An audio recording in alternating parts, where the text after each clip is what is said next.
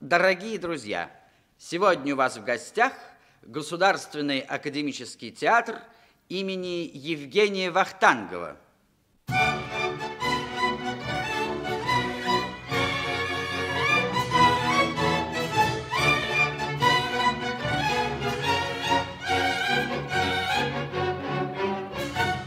Перед занавесем четыре традиционных персонажа итальянской комедии «Масок».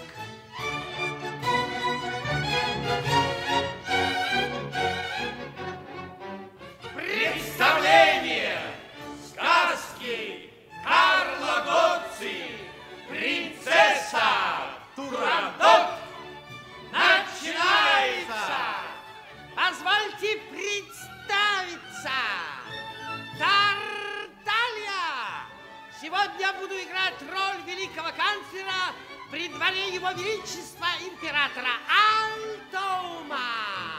Николай Гриценко, Панталоне! Буду играть роль секретаря его величества императора Альтома. Юрий Яковлев, Ригела! Буду играть роль начальника придворной стражи. Михаил Ульянов, Труфальдино! Буду играть роль начальника Евнухов, гарема принцессы Турандот. Эрнест Зорин. Парад!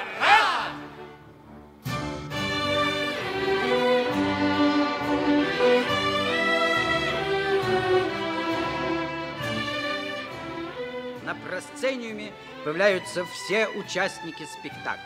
Женщина в бальных туалетах, мужчина во фраках. Это естественно, ведь сегодняшняя наша встреча – праздник для нас. И нам хотелось бы, чтобы вы почувствовали это.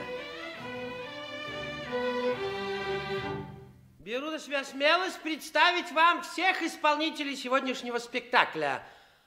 Роль принцессы Турандот исполняет Борисова Юлия. Роль Калафа, князя нагайских татар Астраханского, исполняет Лановой Вася. Да знаете, не просто Вася, а Вася Высочество. Роль рабыни Адельмы, татарской княжны, соперницы принцессы Турандот, исполняет Максакова Людмила. Роль Зелимы, подруги принцессы Турандот, исполняет Райкина Катя. Обе, ну, никакого отношения к своим родителям не имеют и двигаются по нашей сцене своим ходом. Ответственнейшую и, в общем, очень наминкла клавиатурную роль самого настоящего императора Альтома исполняет Дадыка Миша. В русском языке только три слова оканчиваются на «к». Это за, заика, кулипяка и дадыка. Роль Тимура, хана Астраханского, отца Калафа исполняет Кацинский Толя. Роль Бараха, воспитателя Калафа, он же Гасан, исполняет Дунц Харри. Роль Скирины, матери Зелимы, исполняет не Хлопоченко Нина Аполлоновна. Нина является родной дочерью, как вы сами догадались, самого настоящего Аполлона. Роль Измаила, друга одного из казненных женихов принцессы Турандот, исполняет Федоров Евгений Евгеньевич. Это тот самый Федоров, который в прошлом году играл ту же самую роль. Остальные актрисы исполняют роли рабынь принцессы Турандот. Но это, конечно, все угнетенный класс. Остальные артисты исполняют роли мудрецов дивана. Вот они у нас какие. Вот видите, во фраках, крахмальных рубашечках с бантиками. Это все, конечно, научные работники. Спектакль поставлен в 1922 году Евгением Багратионовичем Вахтанговым. Декорации Игнатия Невинского и Виноградова, музыка Сизова и Козловского. Спектакль восстановлен Рубеном Николаевичем Симоновым. Оркестрик у нас небольшой и, в общем, никакого отношения к музыке не имеет. Я окончил, и вот мы начинаем.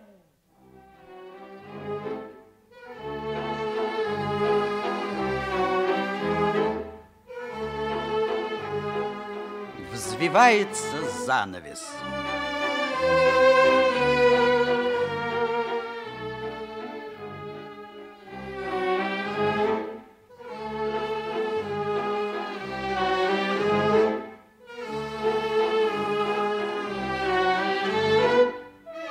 Актеры начинают переодевание.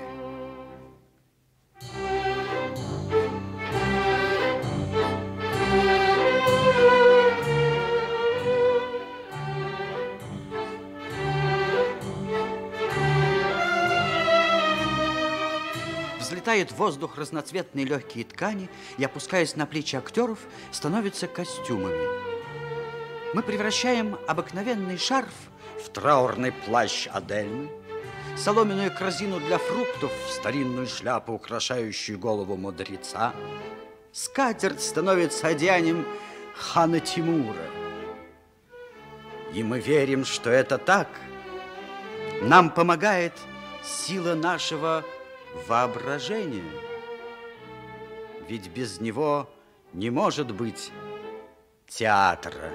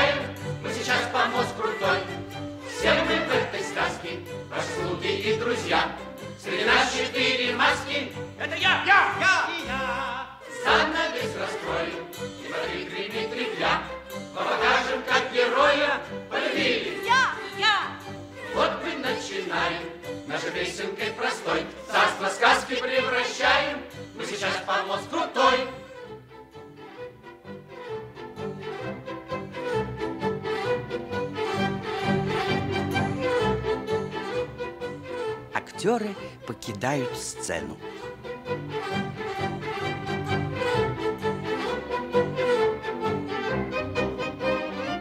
Простите, э, это шутка нашего оркестра.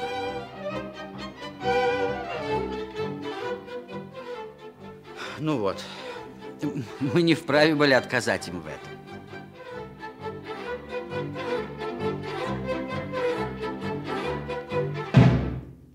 Теперь представьте себе улицу сказочного восточного города.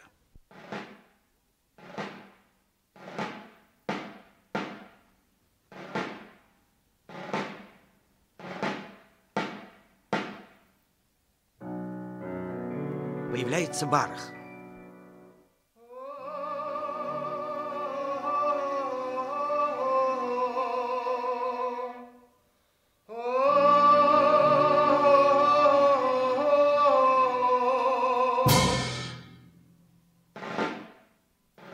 Прежде всего он кланяется зрителям. Э, Так будут делать все.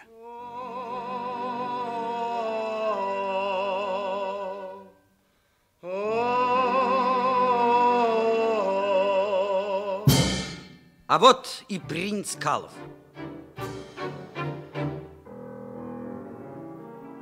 Как он прекрасен. Фрак, белый тюрбан, небрежно наброшенный на плечи короткий плащ. Принц салютует шпагой зрительному залу. Хвала богам! Судились здесь, в столице, мне душу добрую найти. Что вижу я? Мой князь Калап, возможно, жив еще. Барах! Мой князь, мой господин. Тебя ли я вижу? Увидеть вас в живых и здесь. Молчи, не выдавай меня. Но как ты сам попал сюда? Велением самих богов, я думаю, коль с вами здесь мне встретиться пришлось. Садись. Говори. Когда под Астраханью я нашел разбитым все наше войско, и татар нагайских я увидал бегущими в расстройстве под натиском хивинского тирана, который так жестоко овладел всем нашим царством, некогда богатым, я скрылся в Астрахань, страдая от тоски и ран, и там узнал, что царь Тимур родитель ваш.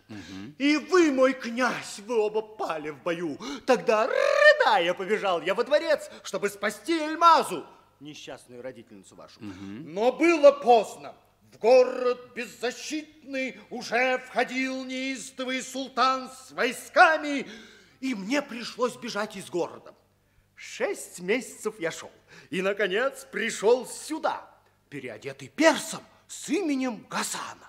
Здесь случай свел меня с одной вдовой, несчастной, беззащитной. Помочь ей удалось, продав часть драгоценностей, что захватил с собой. Она мне нравилась, была мне благодарна и сделалась теперь моей женой. Она меня считает еще персом, зовет меня не Барах, а Гасан. В сравнении с былым мой жребий жалок, но в этот миг богач я и счастливец, Тимура, хана сын, питомец мой, сам князь Калаф, оплаканный, как мертвый, здесь предо мной живой. Ну, как вы живы? Как очутились здесь? Не называй по имени меня. Садись, говори. Когда сражение проиграно под Астраханью было, и царства мы лишились, во дворец я поспешил с отцом. Мы там собрали, что подруга попалась из сокровищ, и вместе с матерью моей бежали. Но жив ли он еще и ханша? Живы. О, хвала богам! Мы кое-как дошли до Харасана, и там, в садах у хана Кайкобада, я за работу черную взялся, чтобы с голоду не умереть. Однажды меня увидела княжна Адельма, и чувство в ней проснулось к чужестранцу, нежнее, чем бывает сострадание. Разбит был Кайкобат, и уничтожен весь род его. Утоплена Адельма и семь сестер ее, а мы бежали. Скитались долго мы и, наконец, пришли в Берлу. Там заработком скудным носильщика кормил четыре года я мать с отцом. Не продолжайте, князь. Теперь пора забыть все те невзгоды. Вас в одеянии богатом вижу, так значит, счастье вам улыбнулось. О да, оно мне улыбнулось. Слушай, у хана улетел любимый кречет. Его поймать мне удалось. Я птицу доставил хану сам, и он спросил, кто я таков. Ему себя я выдал за бедняка-носильщика, который отца и мать трудом тяжелым кормит. Он их велел принять в приют для бедных. О, боги! Да-да, Барах, твой хан Тимур и ханша в приюте нищеты. Но слушай дальше. Мне кошелек вот этот хан вручил, дал мне коня, оружие и одежду, и я с отцом и матерью простился. И вот в столице я, неузнанный никем, за сотни миль от родины далекой. Я поступить солдатом войска хана здешнего хочу. Хочу быть гордым. Не знаю я, какое торжество причиной наплыву чужестранцев. Я в караван-сарай попасть не мог. Все занято. В той хижине убогой дала приют мне женщина одна. О, моя жена? Ужель? Скажи спасибо своей судьбе за добрую жену. Теперь прощай. Я в город направляюсь. Хочу взглянуть, какое торжество причиной наплыва чужестранцев. Остановитесь, князь! Ужель вы в силах свидетелем быть ужасов таких? Мой благородный князь, город этот, арена кровавых дел. Кровавых дел? Не понимаю. Ужель вы не слыхали, что Турандот, принцесса, дочь единственная хана, повергла в скорбь и слезы всю страну? Да, кое-что слыхал я в Харасане. Народ болтал, что князь, сын Кайкобада, погиб у вас в столице странной смертью, что от того война его сгорела, с которой сгубила Кайкобада. Но мало ли что народ болтает глупый. Я от тебя рассказа жду. Принцесса прославилась умом и красотой, которую не в силах описать художники. Ни кистью, ни резцом, хотя ее изображений сотни. К несчастью, такое отвращение к замужеству она питает, что князья знатнейшие и даже ханы тщетно руки ее искали. Слыхал это я, и посмеялся над сказкой нелепой. Я слышал, что отца издать указ она просила, которым свататься к ней разрешалось всем ханам и князьям с одним, однако, лишь условием. В присутствии дивана, придворных всех и хана самого, три должен отгадать жених загадки, которые предложит Турандот. И если жениху удастся это, то вместе с Турандот получит трон, а если нет, его казнят. И клятвою скрепить указ отца она просила Тогда скажи конец мне этой сказки. Хотел бы я, чтобы это сказкой было. Я не могу тебе не верить. Значит, такой закон был издан? Но безумцев ведь не нашлось, чтобы головой играть. Взгляните, князь! Вот головы несчастных, казненных смельчаков. Ужасный вид. Находятся ж глупцы, что головы свои сложить готовы любви чудовища такого ради. Не говорите так! Увидеть стоит лишь кому-нибудь ее изображение, повсюду есть они, как он всецело во власти чар волшебной красоты, и глух, и слеп к опасностям идет на все, чтоб ею овладеть. Одни глупцы. Нет, нет, Сегодня вот должны казнить из Самарканда князя.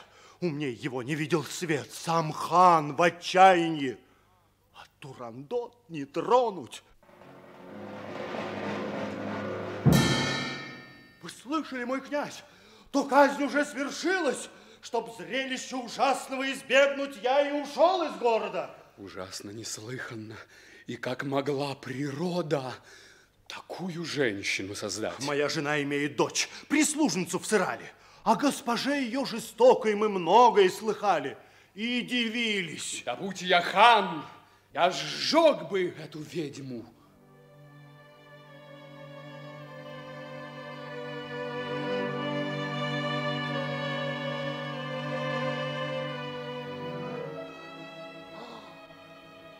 Вот князя друг несчастный Измаил.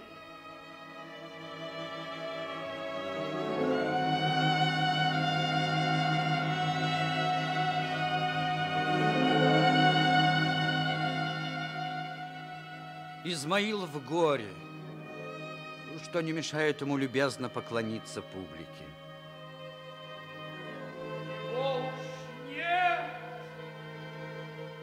Зачем удар смертельный не на мою полголову? Как же вы могли ему позволить на гибель верную идти? Ужель я заслужил упрек такой? О, боги! Остерегал, молил и заклинал его, как долг и дружба мне велели. Не внял он мне, и рок его увлек. Успокойся, будь философом. Он умер. Я был тут, при нем. В последний миг прижал губам и поцелуями осыпал страстно проклятое ее изображение, затем склонил колени. И свершилось проклятое стократ изображение, лежи в пыли. О, если бы с тобою я растоптать мог ее. Не могу я в Самарканд вернуться. В пустыню скроюсь я от глаз людских, оплакивать возлюбленного князя. Вы слышали, мой князь? Я в изумлении, в смятении, в ужасе. Как может бездушное изображение так очаровывать? Мой князь, о боги, что делаете вы? Изображение хочу поднять с земли. Хочу взглянуть на эту красоту, что смертью дышит. Нельзя позволить вам! Успокойся! Досель не становился я женской прелести рабом, тем более в одно мгновение. Так неужели же бездушные черты сильнее быть могут, чем красота живая? Успокойся, не до игры любовной мне теперь. И все ж, мой князь, остерегитесь! Довольно же, барах! Меня ты оскорбляешь. Алов поднимает портрет.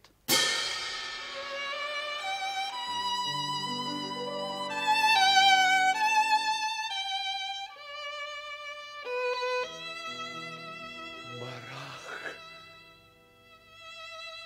послушай, Барах, не может быть, чтобы этот дивный небесный лик, лучистый кроткий взор и нежные черты принадлежали бы чудовищу без сердца, без души. Несчастный князь, бросьте, проклятый этот образ! Напрасно все. Напрасно речи тратишь. Небесный лик, зовущие уста, глаза, как у самой любви богини. Барах, послушай, теперь или никогда пора настало мне испытать судьбу. К чему влачить такую жизнь? Нет, или одним ударом завоевать прекраснейшую в свете и с нею трон, или покончить разом с презренной и ненавистной жизнью.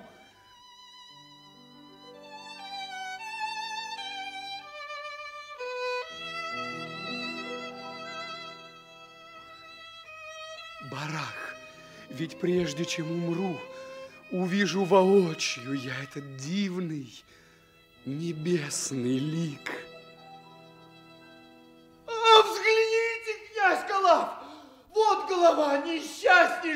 Князя! Глядит на вас и вас остерегает. Бедный мальчик, какой же темный дух непобедимо меня влечет во след на гибель. Не надо слез, барах. Или не оплакал ты меня давно, как мертвого, ступай. И никому не выдай, кто я. Прощай. Нет, ни за что! Жена, ко мне скорей на помощь! Мой гость несчастный идти отгадывать загадки хочет. Погибнет он!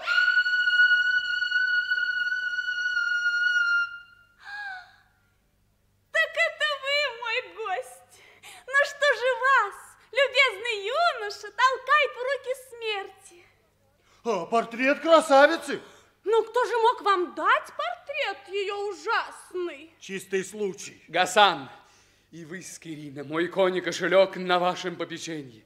Ничем другим в убогой нищете я выразить вам чувства не сумею, и если вам не жаль, отдайте часть из этих денег на святые жертвы богам небесным и на помощь бедным. Пусть за несчастного помолятся они. Прощайте! Мой князь! Мой господин! Твой господин? Юноша тебе знаком. Скажи, кто он? Не любопытствуй.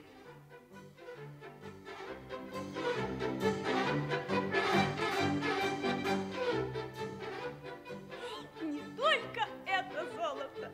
Я все отдать готова за бедняжку на добрые дела. К тому же он прекрасен. благородный человек, высокого рождения, дорог он и мужу моему. Пусть так и будет. Три сотни кур и столько же репричных к великому снесу Бергенгузину. А в жертву гением, ай, корзину овощей и риса. Да будет благосклонен к мольбам жрецов всеведущий Конфуций!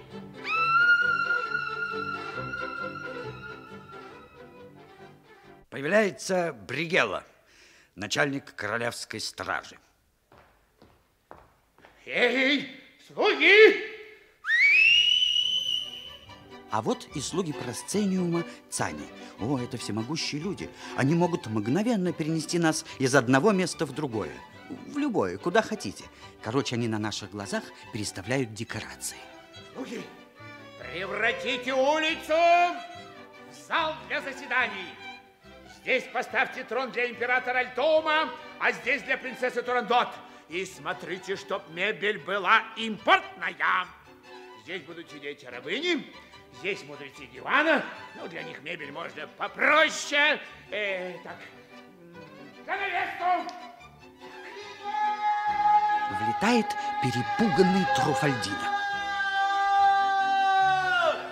Бригелла! Ну что? Ужас! Ужас! Э, Попрошу меня не, пу- не пугать. Почему такое обобщение? Ужас. Отдельные недостатки у нас есть. Что ты тут, э, понимаешь, бегаешь, панику разводишь? Бригелла! Народ взволнован! Да ерунда, Труфальдина, народ безмолвствует. Мы еще в школе проходили. Нет, Бригелла, на сей раз народ требует Ну, чего он требует? Чего он требует? Чего ему не хватает еще? брака! Да брака! брось ты! брака! Брось ты! Брака у нас и своего достаточно. Ну, Бригелла, он требует брака совсем в другом смысле. Какого? Ну, в смысле, я другому отдана, и никаких гвоздей. А при чем тут гвозди? Ой, ну как бы тебе объяснить? О, вот, например, твоя мама. А при чем тут моя мама? Слушай, ты можешь меня не перебивать. Ну? Твоя мама наверняка была замужем. Если бы твоя мама не была замужем, тебя бы не было. Да моя мама не была замужем, а я есть. А как ты ухитрился? А, синтетический, из смолы. Ага, это заметно.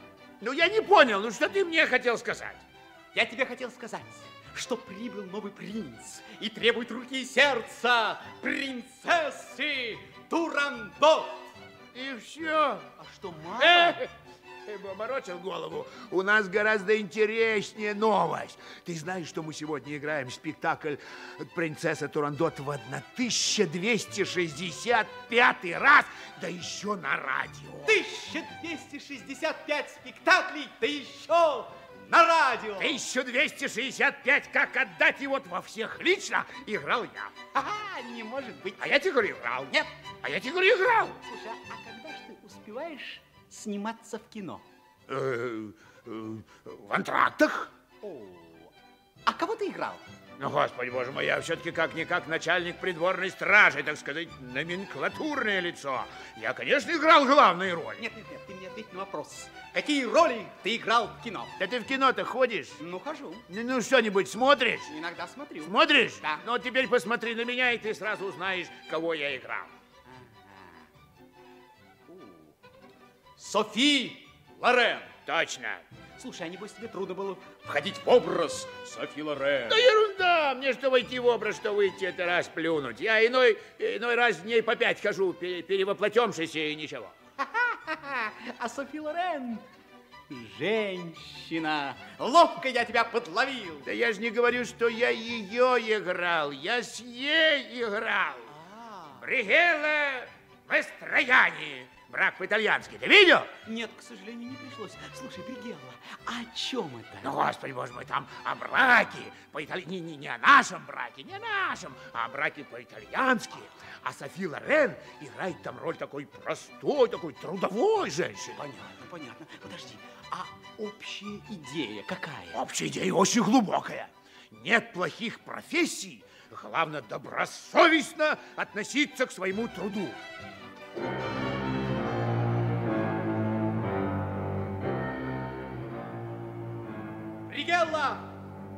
Приближается император.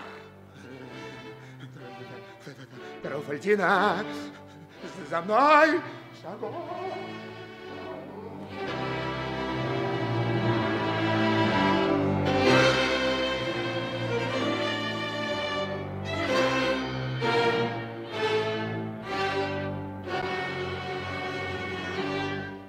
Тем временем слуги превратили улицу в зал для заседаний. Появляются мудрецы. Очень серьезные, очень важные. На их лицах выражение сосредоточенности. Они в заботе о благе государства. Ну, потому они и мудрецы, что много думают. А говорить им тут не разрешается. Только думать. А вот и его величество император Альтоум. Он быстро семенит по направлению к трону. Тартали и панталоны несут шлейф королевской мантии. Впрочем, это не мантия, а обыкновенные портьеры. Но если актер верит, что это королевский наряд, то и мы верим. Да, это настоящая горностаевая мантия. Император водружается на трон. Рядом с ним Тарталия, Панталоне и Бригелла. Начинается тронная речь. О, верные мои! Мудрецы чинно кланяются императору. Доколе буду страдать и мучиться? Мудрецы вновь кланяются. Едва один несчастный принц успел расстаться с жизнью, и его кончину оплакал я, как вот другой явился. Новой скорбью мне сжимает грудь. Узлая дочь, рожденная на горе, что толку проклинать теперь тот час, когда я дал торжественную клятву великому Конфуцию исполнить мной изданный декрет? Нарушить клятву я не могу. Не, это неудобно будет нарушить клятву. Жестокости дочерней предела нет. И недостатка нет в глупцах упрямых, в дочь мою влюбленных. И некому советом мне помочь. Мудрецы качают головами, разделяя горе своего повелителя. Министры думают. Томительную паузу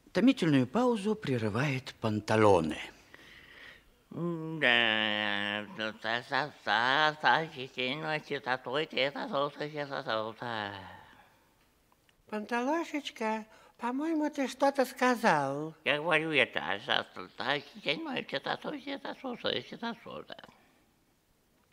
А, а я не понял, что ты сказал. Ну так я же старого играю, у меня совсем почти зубов нету, поэтому ты ничего не понимаешь. Понятно?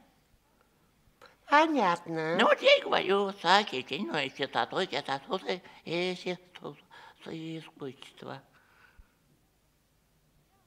Смело сказал.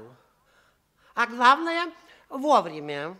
Ну и действительно, ва- ва- Ваше Величество, штатов мы с вами пырыны, пы, пыныры сдували, а, в общем-то, советом-то помочь некому.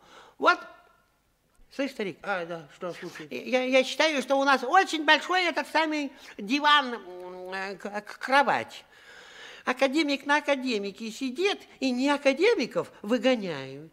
Я бы их наполовину сослал в, в глубинку. Да ты что, Тартальди, с ума сошел? Да никуда же они из столицы не поедут. Они, а, они же все очень любят столичную Что? жизнь. А, жизнь, ну да, а я-то думал что-нибудь другое. Не-а. Да, Панталоша, да, но наше величество, ведь он же очень просил дать ему совет. Ну и что же, вот ты давай совет. А почему это я? Почему это? А почему это я, я ему должен давать совет? У меня сегодня голова выходная. Я вчера очень напряженно умственно работал. От, а, а ты его в роли великого канцлера, на вроде этого старого Аденауэра. Панталошка, ты что же меня так жестоко оскорбляешь, а? Кто я тебе такого плохого сделал, а? Ведь я же не говорю, что ты чомба. Кто сказал бомба? Ты панталона. Да иди ты, Уйди ты, Бригела, отсюда. Вот. И вообще, я даже, ва- ва- Ваше Величество, я даже не знаю, где вот такие, как Панталошка, родятся. О, где родятся? Я же, я же знаешь, где родился? Да. Я же знаешь, где родился? Я же в этой, э, Да. как ее, это, на букву Х. Ну, конечно, Химки Ховрина. Да ничего подобного. А может, э, хорошо во мневнике? Да ну тебе, Богу, честное слово. Эм, ну это, ну как же это на, на, на, на букву Х это, ну, господи ты, боже мой, едят тебя мухи с комарами, ну это же, ну... Во, в этой, в Хавлоренции. Ой, ой, рассмешил ты меня, Панталошка. Ну, как же ты такой можешь сказать, а? Нет, я уж на твоем месте сначала бы уж говорил, а потом уж думал. Ну, как же ты говоришь, что ты родился там в, в какой-то... вахлавала- вахлавала- Ведь ты же Рязанский.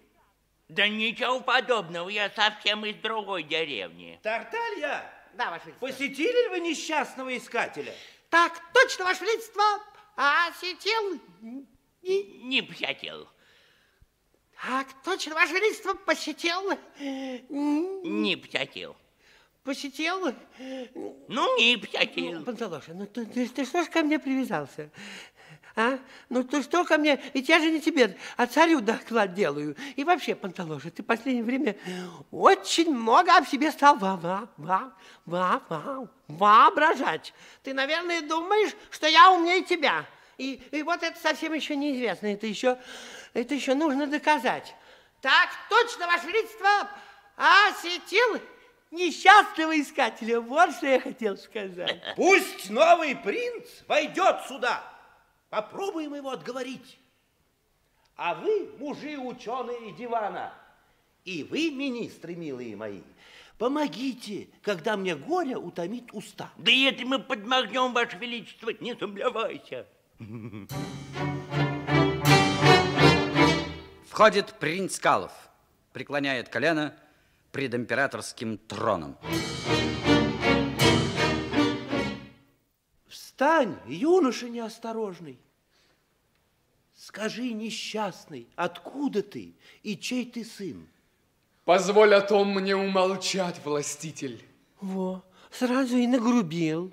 Ну как ты можешь, скрыв свое происхождение, рассчитывать на брак с моей дочерью? Природный принц перед вами, повелитель. И если угодно будет небу, чтобы умер я, мое рождение, положение и имя хотел бы скрыть я до того момента, последнего, пока же я милости прошу дозволить мне остаться неизвестным. Я эту милость дарую тебе, о храбрая душа. И я тебя милости прошу. Не заставляй меня твой труп оплакать. И ненависти к дочери моей не разжигай в сердцах, а вместе с ней ко мне за то, что я родил ее. Ой. Упрямую, пустую, источник горести моих и слез. Ну не надо, ну не надо, Ваше Величество, у вас же гипертония. Довольно реветь. Тихо, тихо, тихо, тихо. Довольно реветь Тихо, его. Панталошка, тихо. Не, не надо его так принципиально критиковать, не надо. Довольно тебе, идиот. Тихо, вы тут- А ты чего туда ты лезешь? А ты что отпихаешься? Тихо! Вы же трон пошатнули! Ну, ты, Да, да, я тебя пихну. ты что его лупцуешь? А ты что отпихаешься, ты, что, ты что, не знаешь, кто это сидит? Ведь это же царь! А ты, э, а ты его лупцуешь. А ты вообще царь или не царь? Царь! Ну вот, ведь он же, слышь, он говорит, что он царь. Ведь ты же у него выколотишь все царственное. Как же он тогда царством будет у- управлять? Я считаю, он старенький и пускай немного пахнычет. Благодарю за ваших чувств, святое благородство. Пусть либо небо даст мне Турандот, мою избранницу в супруге, либо пусть пресечется жизнь. Иль Турандот, иль смерть.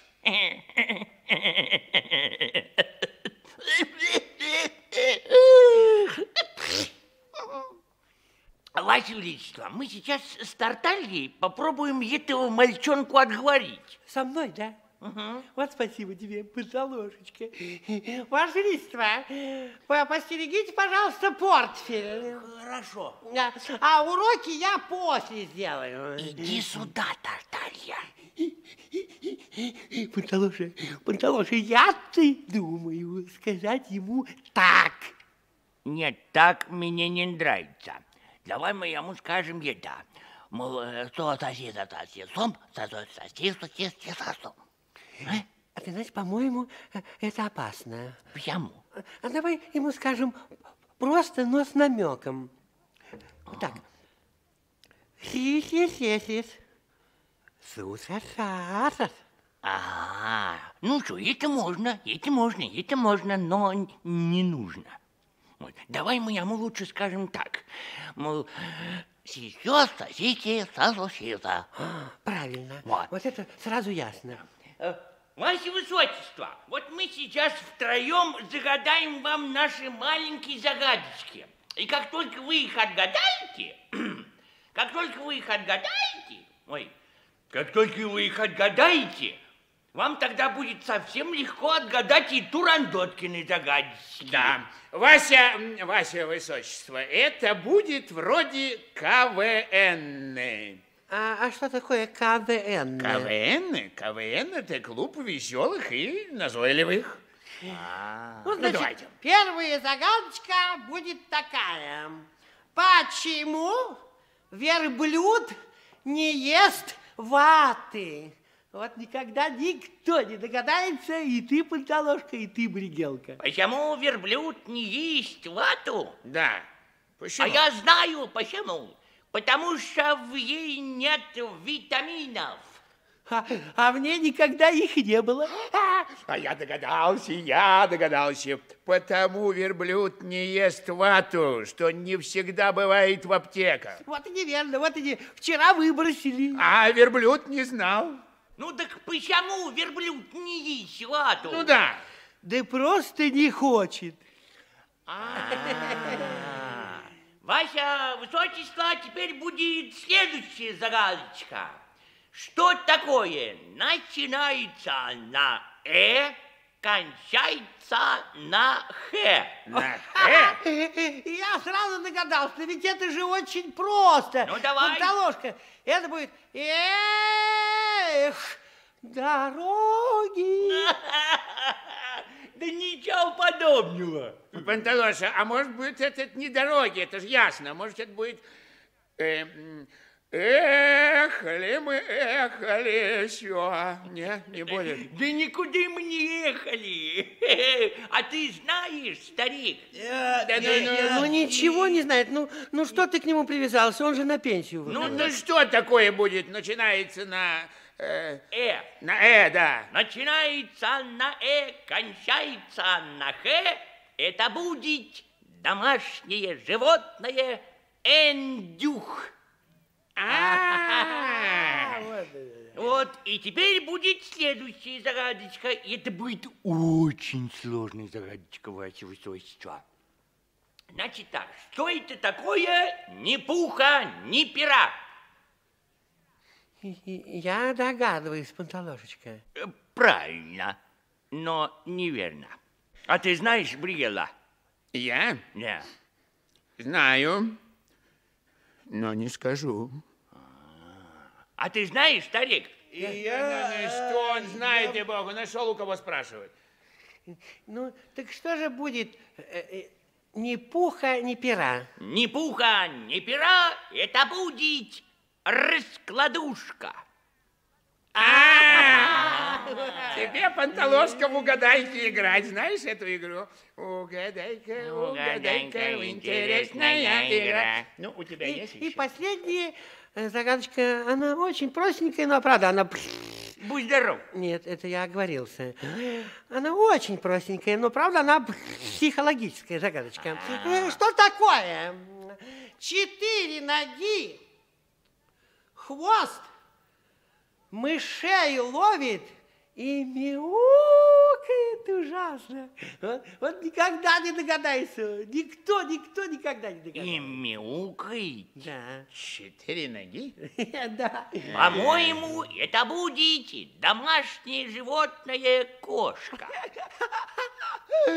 Я сам, я сам думал, что кошка, а оказывается ко- кот. А. Но тут принц Калов прерывает министров. Зачем старание? Напрасно все. Иль турандот, иль смерть.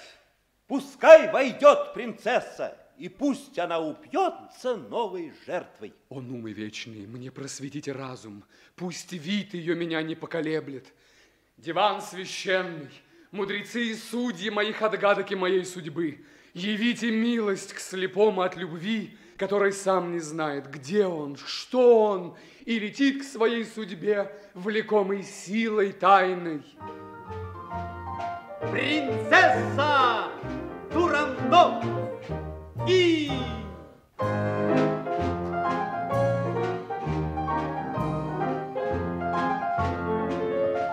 Появляется свита Турандот.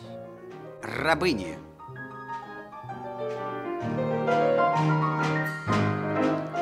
Они молоды, скромны и очаровательны. Они, вероятно, так пленительны, потому что, хотя и не сказочны, но вполне современные.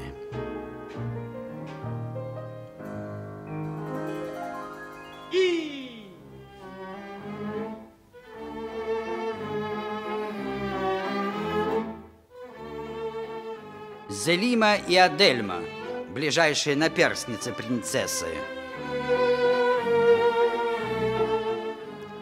А вот и сама принцесса Турандот.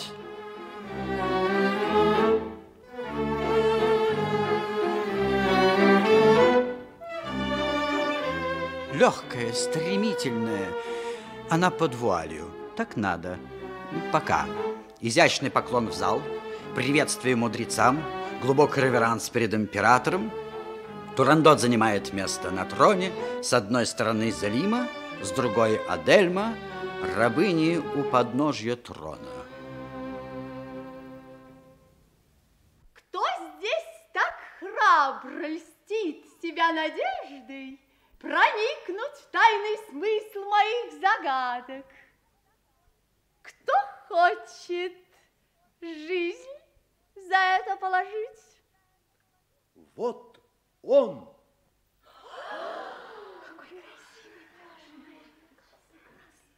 О небо! Ни один из смельчаков, являвшихся передо мной в диване, не возбуждал такого сострадания во мне, Залима. У неба! Это он, тот, кто в одежде жалкого раба работал при дворе у Харасан, когда был жив отец мой Кикобат. И так он принц, я чувствовала это, и сердце отдала ему. Дайте легкие ему загадки, перестаньте быть жестокой. Как? А честь моя? О, принц! От гибельной попытки откажитесь. Я не жестока. Известно небу, что слух об этом ложь, но я таю в своей душе глухое отвращение к мужскому полу.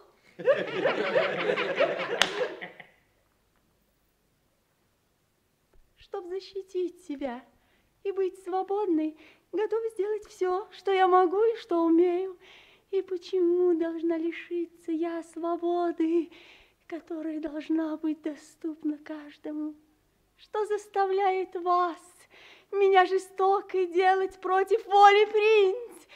Если вас можно убедить мольбами, я унижусь до мольбы. Избавьте же меня от злого долга загадывать загадки. Узнайте, о Турандот жестокая, что если бы имел я не одну, а сотни тысяч жизней, я все бы их принес для вас на плаху. Дайте легкие ему загадки, перестаньте быть жестокой. Турандот, про вашу славу вспомните. Готовься же несносный к испытанию. Так пусть же будет роковой декрет прочитан здесь публично в устрашение. Пущай. Слуги выносят написанный на большом полотнище декрет. Вот он.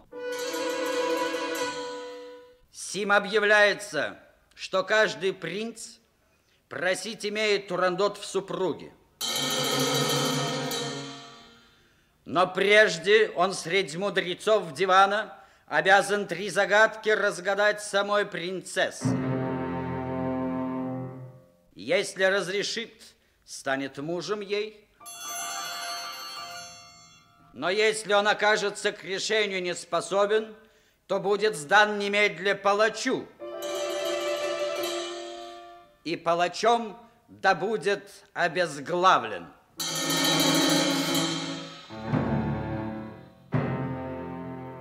Унесите декрет.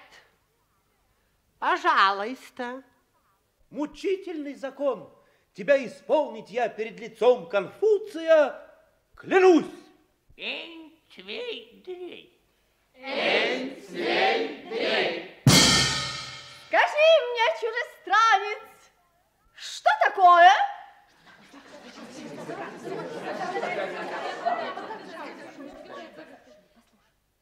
Я скорчился в сухом полене. Я скорчился в сухом полене. Пришла моя пора. Жду, что пришла моя пора. И первое мое явление И первое мое явление при первом стуке топора. при первом стуке топора. Я хилый маленького роста. Я хилый маленького роста. Дыхание всякого боюсь. Дыхание всякого боюсь. Пролей воды, погибну просто. Пролей воды, погибну просто. Подуй, завяну и совьюсь. Подуй, завяну и совьюсь. Но если дует сильный ветер, Но если дует сильный ветер, я вырастаю до небес. я вырастаю до небес. Хочу я, чтобы ты ответил, что я за дива, что за бес. Так, так, так, так, так. Я был бы счастлив, гордая принцесса, если б загадки все были так же легкие. Ты хочешь, чтобы я ответил, что ты за бес, как звать тебя?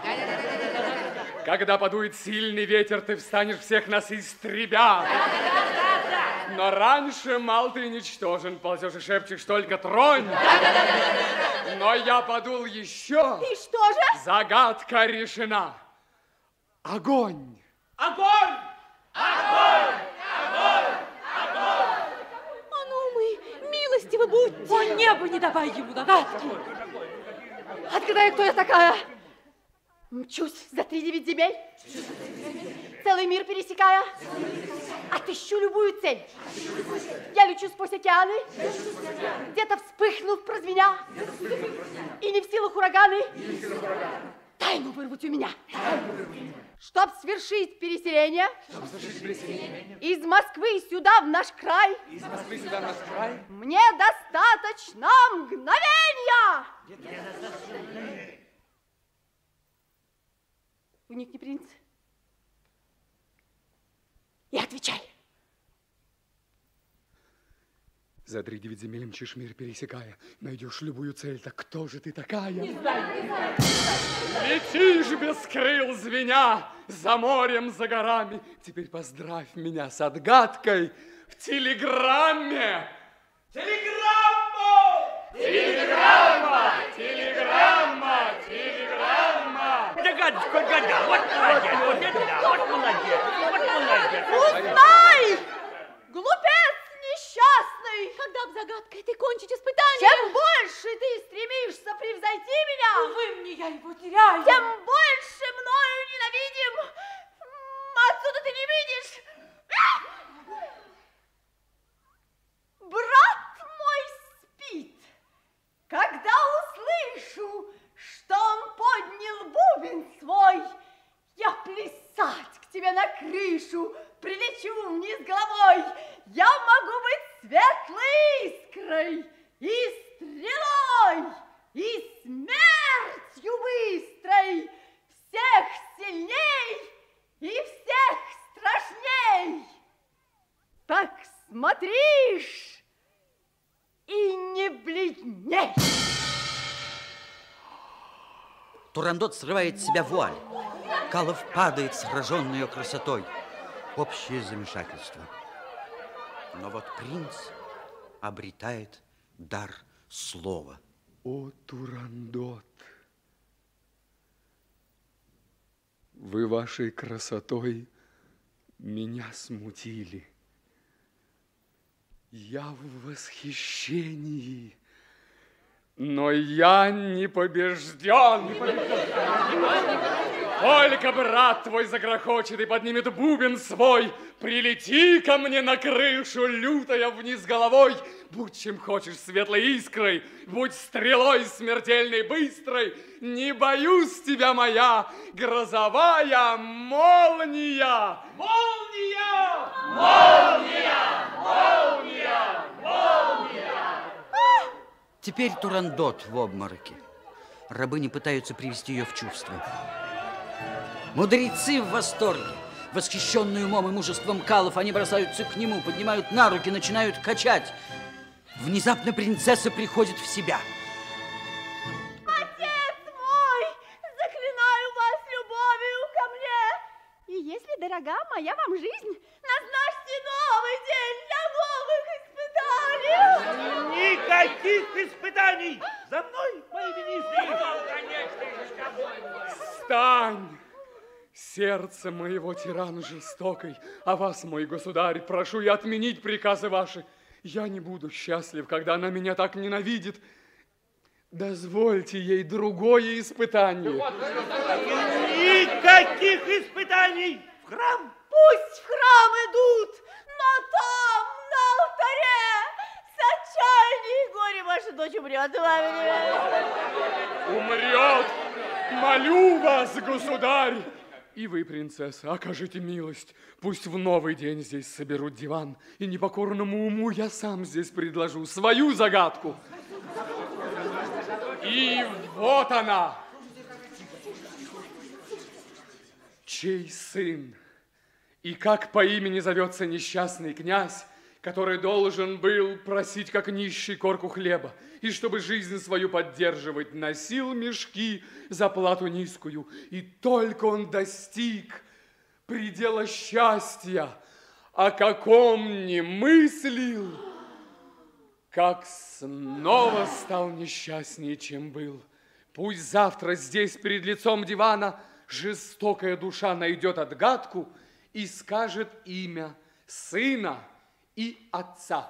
Чужестранец, я условия принимаю. Вновь опасность. О, новая надежда! Неразумный! Что требуешь? Да разве ты не знаешь, каков в ней ум?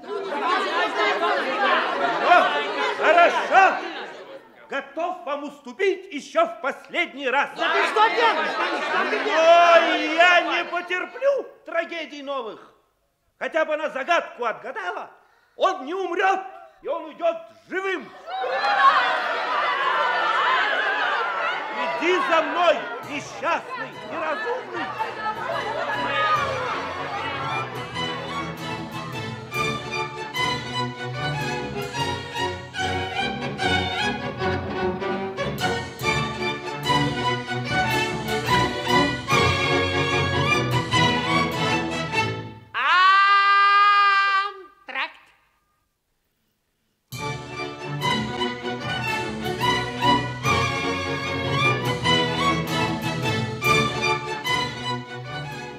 Итак, дорогие друзья, второй акт нашего спектакля.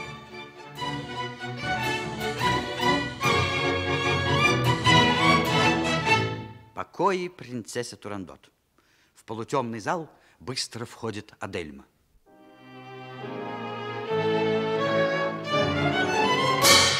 Теперь или никогда. Уже пять лет, как я скрываю в груди смертельный яд. Я притворяюсь, что я смирилась, Да! Да! Да! И что я люблю ее надменную, во мне кровь царская, и Турандот ничем меня не превышает, и я могла бы трон занять. Мне стыдно быть униженной рабой, притворство не по силам больше мне, я вся измучена, истерзана, я таю, как снег пред солнцем, воск перед огнем. Скажите, кто бы мог узнать во мне Адельму прежнюю? Никто? Никто, но я уже решила сегодня сделать все, на что способна. Победа или смерть? Он ненавистная, твоим не будет. Она идет сюда. Она подходит. Послушаем, что будет говорить. Принцесса Турандот, вся свита, слуги, рабыни сейчас заняты лишь одним. Как разгадать загадку принца Калов? Чей сын и как по имени зовется несчастный принц, который должен... Довольно! Перестаньте. Идем. Как по имени зовется несчастный Чей сын?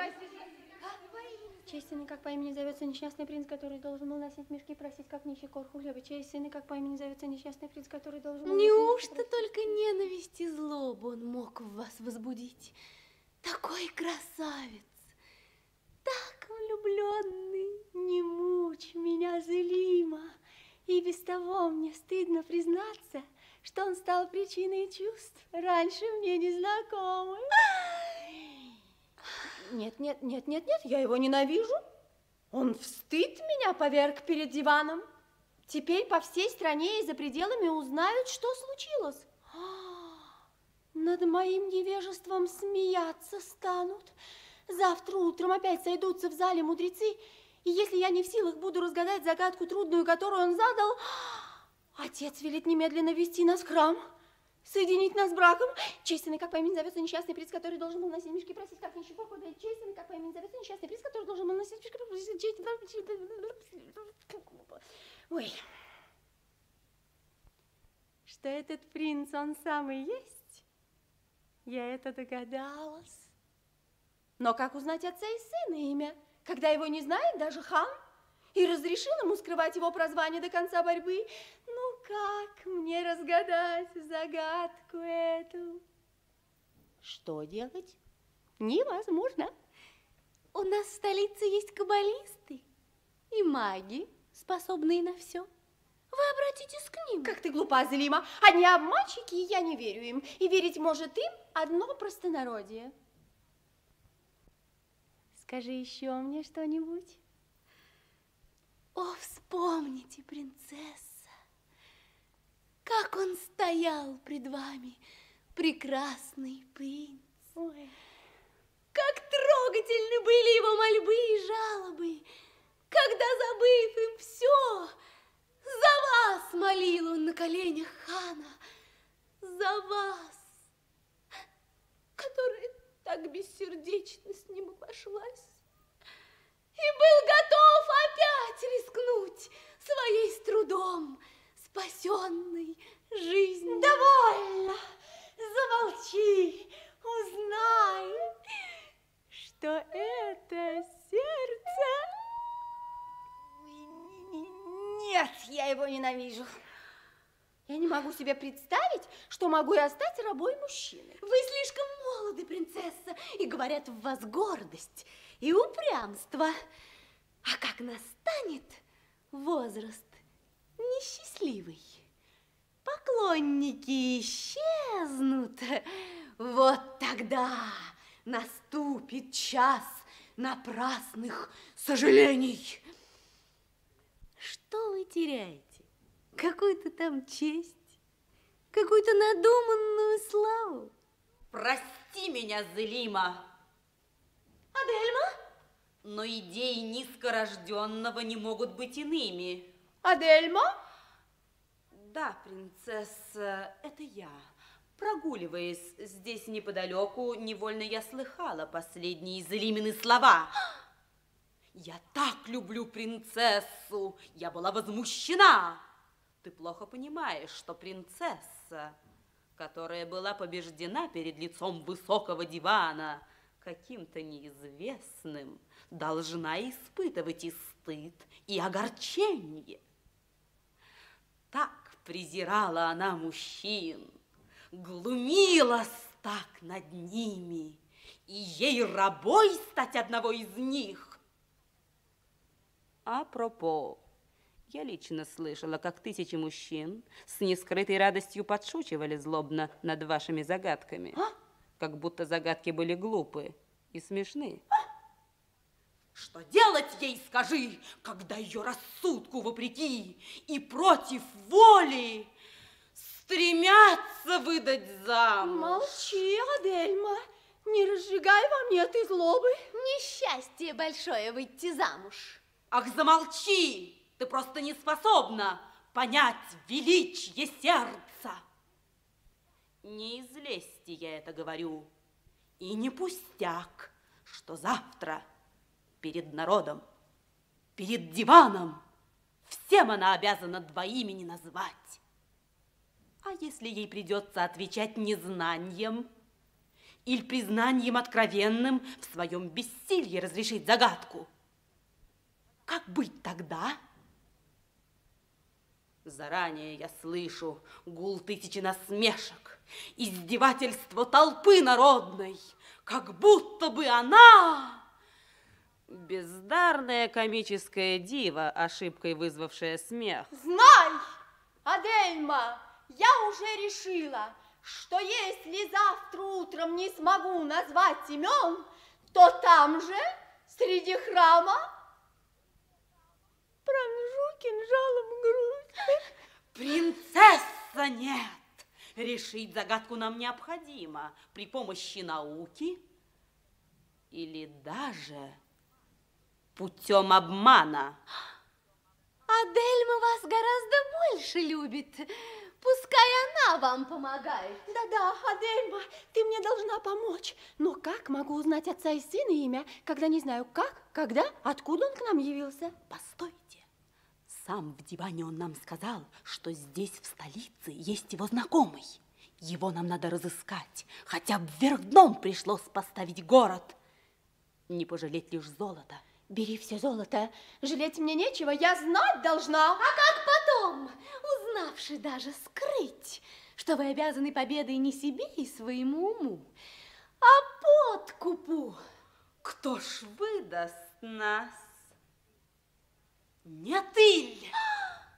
Ну, это слишком.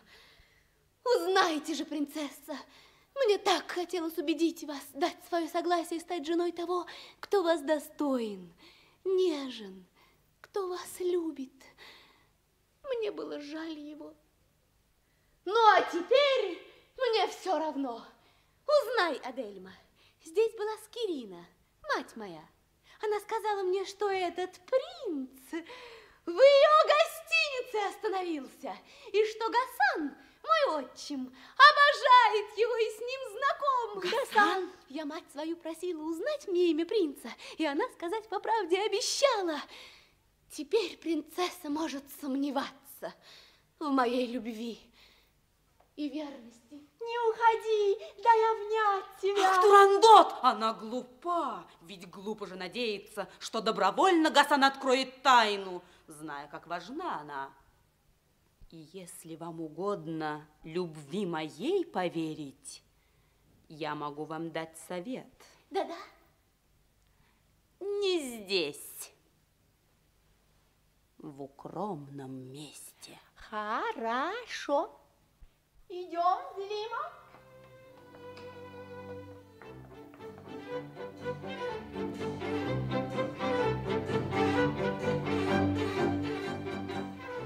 О, подкрепи меня, любовь, могучая, ты сокрушаешь все. Так помоги же мне разбить оковы.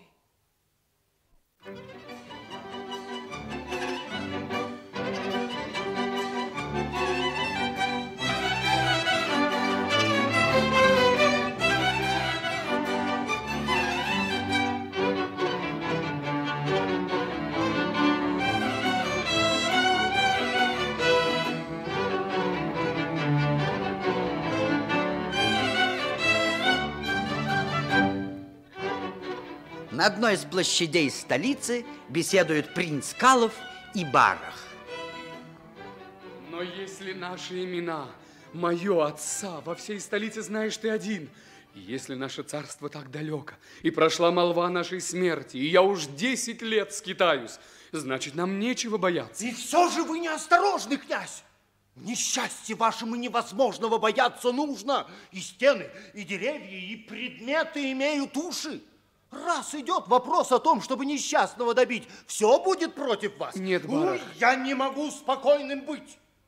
Нам удалось побить на состязании одну из самых умных, прекрасных женщин. Вместе с ней мы победили одно из самых сильных царств. И вдруг затем, по слабости сердечной, все пропало. Не меряй, барах, нежную любовь аршином интереса. Ты не видал отчаяния и гнева, Турандот, а в ней вся жизнь моя. Ну, а вы, как сын, должны бы больше думать не о ней уж побежденной вами, а о своих родителях, которые в горести и нищете оставили в Берласе. Не упрекай меня, я так хотел ее утешить. Быть может, мой поступок ей по сердцу пришелся. Может быть, в ней искра благодарности проснулась. Ко, в Турандот? Ха-ха! Какое заблуждение. Мне нечего бояться, Барах. Ты меня не выдашь. Говорил ли ты своей жене, кто я? Конечно, нет. Послушан Барах приказанием вашим. Но у меня предчувствие дурного. Я весь дрожу, не знаю почему. Ва-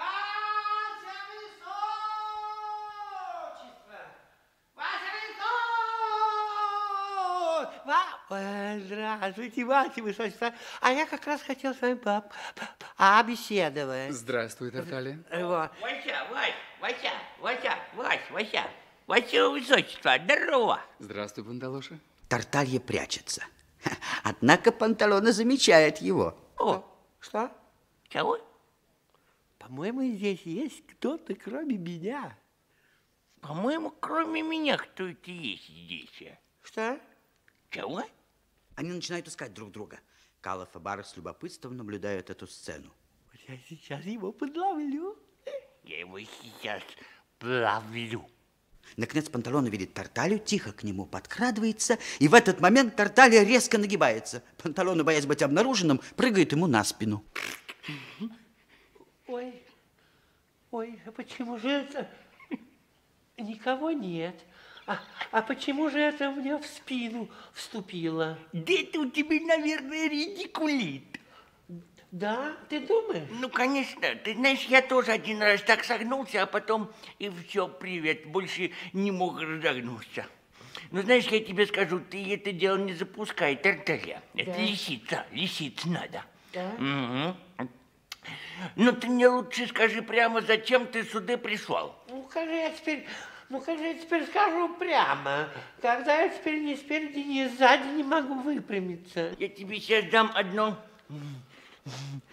неопатическое лекарство. О, на-ка, укуси. А разве неопатическое через ноздрю принимают, да? Оп. Ну, постой, я тебе сейчас распрямлю. Оп, я. А Смотри, А? правда, как рукой сняло. А, а я знаю, зачем ты сюда пришел. Нет, не знаешь. Нет, знаю. Нет, не знаешь. Ты, небось, хочешь узнать имя принца. О, Панталошка, ну как же ты мог обо мне так подумать, а? Как ты только... Как ты только... А как ты догадался? А, а я, небось, тоже хочу узнать имя принца. Да? Ну, конечно. Ну, только у меня, значит, знаешь, Тарталь, у меня план есть. А средства касаются лефлеви. А средства касаются лефлеви. А с- касаются лефлеви. Давай я скажу. Давай. А средства к осуществлению. О, этого у меня нету. Да? А вот у меня, пожалуй, плана никакого. Зато средства к к Зато, зато средства к к к Не, ну да, давай, давай я скажу. Давай я. К осуществлению. Во, есть. Ну и хорошо. Ну вот тогда, если у нас есть и план, и средства к осуществлению... и- хм, Сейчас. Если у нас есть и план, и средства для осуществления... Давай я скажу. Ну И да. средства к осу- О, давай, о, мальчик, вот ты музыкант, вот давай ты скажи. Мальчик в оркестре, вот с бантиком, ну скажи ты. Осуществление. О, хорошо, хорошо сказал. Смотри, А ты, и ты давно репетируешь, да? Нет. Ну, молодец, только тихо. Ну, что ж ты так робеешь? Ты ведь все равно в оркестровой яме сидишь-то бесплатно. Ну, скажи уж погромче, так, чтобы все слышали, кто сегодня билеты за деньги купил. Ну, давай, работай, разговаривай. Ощущи... Ощущи... Ощущи... Не, по- не получилось. Вот видишь, Ну, так. Тогда давай действовать сообща. Вот, На, дв- на двоих, На двоих. Хорошо. Только постой, постой, у меня, знаешь, у меня одна нога не работает. А ты что, Панталуша, опять не можешь стартовать, да? Ну да, я тебе подтолкну. Во, во, во, во, сам, сам побежал, сам побежал.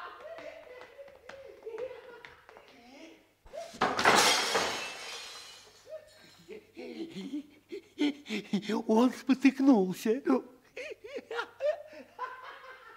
Прикрывшись зонтиком, на площадь по-пластунски вползает Бригелла. С противоположной стороны появляется несколько легкомысленно настроенная Труфальдина. Из-под зонта раздается свист. Никого нет. Тредам-пам-пам-дрем-пам-пам-дрем. О-о! Ха-ха! Бригелла! Слушай, Труфальдина, мы должны узнать имя принца. Так. Зови скорее сюда Тарталью и Панталону. Действуй! Ясно? Вот в этой моей голове... Кто стучит? Кто, кто стучит? Я говорю, вот в моей голове... Кто опять стучит? Я говорю, вот в этой вот моей голове есть чем сбить с толку их высочество. Ну, пошли, пошли. Иди сюда. Иди. Ой, куда пошли? Меня, Как это куда? Куда? все болит. Тихо, будет Бригелла. Нас вызывает на конференцию. Ну, какая там может быть конференция? Ну, а когда же я тогда буду уроки учить? Вот поэтому я и двойки приношу. Вообще, Панталоша, по-моему, Бригелла последнее время очень много об себе стал ва-ва, ва воображать. По-моему, тоже. Тихо. Идите сюда, идите сюда, идите ко мне. Так, давайте, давайте, давайте подумаем, что нам делать. Так, что? А я Нужно- не нужно я думаю, Тру- Труфальдина, давай иди. Иди, иди, иди, иди. Надев платочек, Турфальдина мгновенно перевоплощается в девочку. Он подходит к Лановому, простите, к принцу Калофу. Ваше Высочество, Я слушаю. Вот вы знаете, я ваша давнишняя поклонница, да. Я видела все-все фильмы с вашим участием. И «Коллеги», и «Иду на грозу», и «Война и мир», и «Рваные паруса». Не-не-не, П- п- Пардон, пардон, алые паруса. Ах, как это прекрасно! Это прекрасно, это, значит, его как, это вонит Душенька, душенька, подпишите мне вашу фотографию, которую я ношу возле самого сердца. Пожалуйста, вам ручка. Пишет. Пишет, пишет, пишет, сейчас напишет. Нет, не пишет. Не пишет. Да, а вчера только из ремонта. Да. Ну-ка, ну-ка, А что же делать, у меня, у меня, у меня, у меня, у меня есть идея, у меня есть идея. Опять Слушай, слушай, Тартаска, принц головой рискует. Оказывается, Труфалина, принц-то головой рискует. Панталоша, оказывается, принц головой рискует. Товарищи радиослушатели, оказывается, принц Лановой флиртует. Ой, А, Панталон, меня не понял. плохо Я говорю, слушай, Тарташка, принц головой рискует, рискует, а я его уговорю застраховать голову, а для этого он должен будет заполнить анкету. Труфалинушка, оказывается, он должен заполнить анкету. Панталоша, оказывается, он должен заполнить анкету. Ой, оказывается, мы пойдем на банкет. Ну, дед, ну что ты Старый ты какой стал. Слушай, эм, Вася, Вася, высочество. Да, Бригела? Ну-ка, подойди сюда. Я слушаю. Э, вы головой рискуете? Рискуете. А почему бы вам ее не застраховать? Вы потеряете голову, а вместо нее на руки получите 2 рубля 87 копеек. А для этого нужно только заполнить анкетку. Ваша фамилия? А? Как? Что? простите? Молчит. Ага. Ну, бурные аплодисменты, переходящие в авиацию. Ну, ну что, что, что, что будем делать? А? А, Смыслялка. Я знаю, что, я знаю. Постой, Труфальдина, постой, молчи. Я знаю, что надо сделать. Нужно этого принца подпоить. Я пойду в гастроном, ладно? Правильно, правильно. Я пошел в гастроном. Правильно, его, его высочество захмелеет тут же проговорится. Ну, Вася, Вася, Вася, высочество. Ваше высочество, Я слушаю. Мы решили вашу честь устроить такой, знаете, небольшой кок кок кок кок такой, знаете, небольшой кок кок кок кок А! Ой, ребята, я, кажется, несусь. Ой. Ребятки, я еще раз попробую с разбегу, ладно? Ну, давай. Как, как, как, как, как, коктейль. Труфальдиночка, у вас штопор. Отштопоривайте, пожалуйста.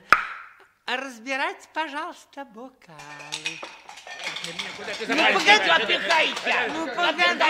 Да что вы на самом деле? Отдай Ну, кружку. Ну, что вы на самом деле, как в молодежном кафе? Что, вы не можете это сделать поинтеллигентнее, да? Ну, плесни ко мне, Труфальдина, пожалуйста. И мне тоже. И мне тоже. Ваше высочество, ваше высочество, я, э, я давно хотел выпить с вами на бутерброд. Да нет. Какой бутерброд? Что Что ты говоришь? говоришь? Ой, ах ты, простите, я оговорился. Ну, я же могу оговориться. Ах, я вспомнил, как это правильно э, Ну, говорить давай. словом. На брудер штраф. О. Поехали. Ну, поехали. А что?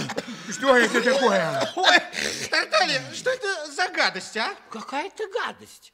Это же, это же рыбий жир.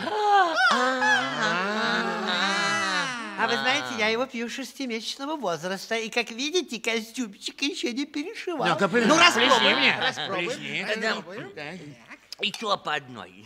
Вася, Ну, на. Вась, Вася, Вася, Вась, Вася, высочество. Да, панталоны? Эх, а ты знаешь, действительно очень неудобно получается. Вот мы э, за тебя пьем, и даже неизвестно, э, за кого мы пьем. Как будет твоя фамилия? А? Молчить. Молчит. Молчит. Молчит. Выпьем. Выпьем. Выпьем. выпьем. Всё. Да. М, всё. Ой, косточка попалась. Я-я-я, я-я. Товарищи панталоны! Слушай мою команду. В одну шеренгу стройся! Ты что, с ума сошел, что ли, Тарталья? Меня же зовут я Панталоне. Не Панталоне, одно. То есть нет, это, это Панталон на одна. А не, не, не, это меня зовут я Панталон, один Панталон. Да нет, старики, вы неверно распрягаете. Правильно, нужно сказать так. Одни панталоны, потому что вас уже двое. Панталош, панталош, и их-то уже четверо, смотри. Труфальдинка и Бригелка, их тоже уже четверо. Так мы беспрерывно размножаемся, как из икры. Друзья мои, гляньте-ка, а у нас уже целый аквариум. А мы не можем узнать имя какого-то там принца, да? Действительно, А, а кто вот мы такой? сейчас выпьем по рюмочке в последний раз. И уж тут он наверняка проговорится. Ну, дай бог, не последний. друзья мои, я кое-что придумал. Я пошел. Пошел я. Ну, куда ты пошел, Труфальдин? Я пошел в публику, чтобы взять программку. А Да зачем? вы не бойтесь, не бойтесь, дайте ему, дайте, и он поиграет и отдаст. Друзья мои, сейчас мы посмотрим по программке, кого играет артист Лыновой. Так. И тогда сразу узнаем имя принца. Давайте Ну, давайте. программку смотреть. Так. Да не так же повернул, вверх ногами. Вот А, так. Вот так. Вот так. А, Ай, да. Куда? О, Аида. Аида. Ну-ка, ну-ка, Тарталья, почитай ты. Вот это сначала. Сете. Сете. Сете челкунчик. Ну-ка, Нет, тоже не то. А, А ну-ка, Панталош, дай-ка, почитай ты. Почитай. Дай мне, дай мне, дай мне. О, чего, чего, сан. Чего? Сам, сам, подожди, Грамотеевый. Вот я прощу. Э, Рига, Рига, лето, Рига, лето. А, что-то, что-то насчет отпуска. А, Да нет, друзья мои, это мы в оперный театр попали совсем не туда. Сейчас я все выясню. Вася, Вася, высочество, вот, вот признайся нам, семерым. Вы семерым. А, простите, восьмерым. Где ты работаешь, а? Слушай, ну что ты к нему привязался? Ну что ты с ним еще разговариваешь? Ты что, не видишь, что ли, что он слово выговорит? Он же выговорить и слова не может. А ты что, Бригела, ты, ты что на меня уставился? А что? Арестовывай его скорее. Кого? Ну, кого принца, вот этого гражданина в желтой баллоне. А вот это вот, вот этого плащ палатки? А сейчас я... Ваше Высочество, вы арестованы. Да, арестованы. Следуйте вперед меня. Прощай, мой друг. Увидимся в другой раз. Будь осторожен. Вася, Куда, куда вы? Ой, ой, ой, ой, куда пошел? Бегом, Ой, бегом бегает. Бригела, что ты наделал? Зачем что? ты его отпустил? Ну что, ну он, он дойдет, он дойдет. Я ведь дошел, и он э, дойдет. Ну, кто тебя обидел, Тарталья? Ну ты чего? Тарташка, ну, не- ну не Ну, что ты плачешь? Если бы знали. Что? Что? Что случилось-то? Ты чего ревешь? Друзья мои, если бы только знали. Ну что, скажи, что? Эх, Если бы знали вы, Ну что, что? как мне дороги.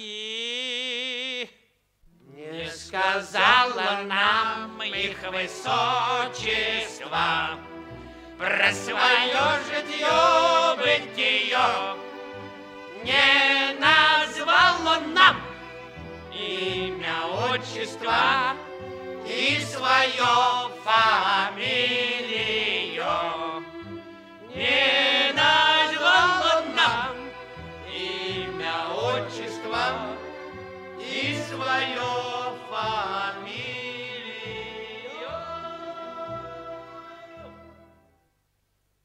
Барах остался один. Да поможет небо неосторожному. А я, конечно, не выдам тайны. Появляется хан Тимур, отец Калафа. Он очень величественный и очень старый, судя по белой бороде, из махрового полотенца. Горе мне! Мой сын, он арестован. Традиционный поклон публики. Этот злой тиран, султан Хивинской, дерзкий узурпатор моей короны, властен даже здесь. Тогда умрем мы оба. Калов, Калов, Калов. Молчи, старик! Или умрешь на месте. Кто ты такой? Откуда? Как узнал ты имя юноши? О, Боже! Барра! Как ты здесь, в столице? Как ты смел поднять оружие на монарха своего в несчастье павшего? Ты против сына? Так значит, ты Тимур? Да это я, предатель. Ну что ж, ударь и сократи мне жизнь. Я жил достаточно. Пережить неблагодарность преданных министров мне, ради низких выгод изменивших, узнать, что милый сын попал во власть хивинского тирана. Тяжело мне. Мой государь! Да, узнаю теперь. О, государь мой! Вы меня простите. Поступок мой любовью был к вам вызван. И если сын вам дорог, не называйте по имени ни сына, ни себя. И я не парах здесь. Я здесь Гасан. Надеюсь, что никто не слышал нас. А где ж супруга ваша? Здесь, в столице? О дорогой жене не вспоминай. В Берласе там, в убежище для нищих, покорной судьбе, с мечтой о сыне и с именем любимца на устах. Склонив свое чело на эту грудь усталую, меня же утешая, она скончалась, бедная душа. О, бедная царица!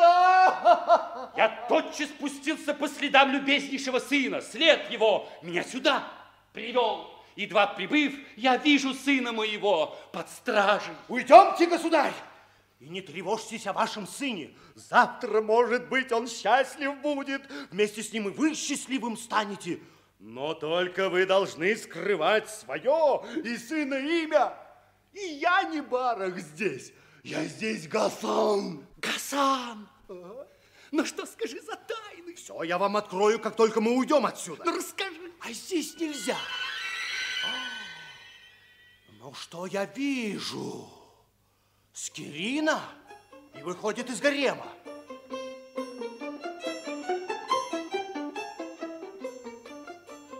Откуда ты? Зачем? Сыра ли я была у дочки? Как же радовались мы с Зелимой, что победил наш чудный гость, тот юноша прекрасный. Так же любопытно нам было посмотреть, как эта ненавистница мужчин изволит держать себя невестой. Ты всего еще не знаешь и идешь в гарем. Болтливая сорока! Я тебя искал повсюду, чтобы запретить тебе болтать в гареме. Но на горе мудрейшие из замыслов мужчин всегда на деле отстают во времени от глупых бабьих планов. Что ж ты болтала? Я боюсь, что ты в чрезмерной радости призналась, что неизвестный принц гостит у нас, что муж твой принца знает, очень любит. Ну, говорила, да? А если что здесь плохого, если бы сказала? Нет, ты признайся, рассказала, да? Да, я сказала. Она меня узнать просила имя принца. И я сказать по правде обещала. Ой, я несчастный. Я погиб.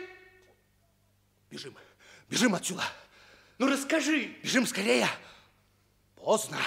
Вон евнухи жестокой Турандот. Жена, беги скорей и возьми с собой вот этого несчастного и скройся живо. Мне поздно уж бежать. Но что за тайны? Расскажи. Уста замкните, пусть из ваших уст не выйдет ваше имя.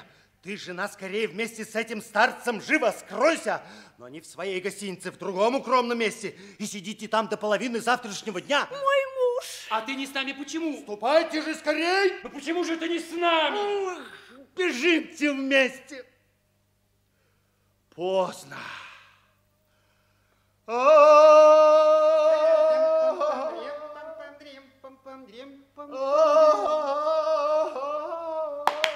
Эй, стража! Я здесь.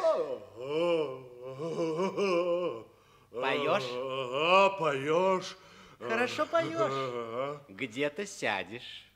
Вы ищете Гасана? Я Гасан. Гасан? Это уже подозрительно. А это кто с тобой? Это я. Старик? М-м. А это кто? Дама. Кто эта дама, Гасан? А, госпожа твоя меня искать велела. Брось старика и эту даму, и пойдем. Нехорошо бросаться собственной женой. Эй, стража! Кандалы готовы? Готовы. Связать! Крепко связаны. Крепко. Але!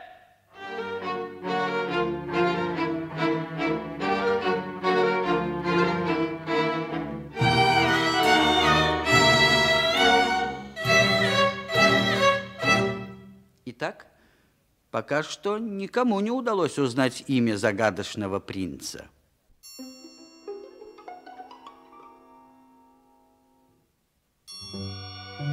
Ночь. В одном из залов близ Сираля заточен Калов. Ему не спится. Он шагает из угла в угол. За принцем наблюдает стерегущий его Бригелла.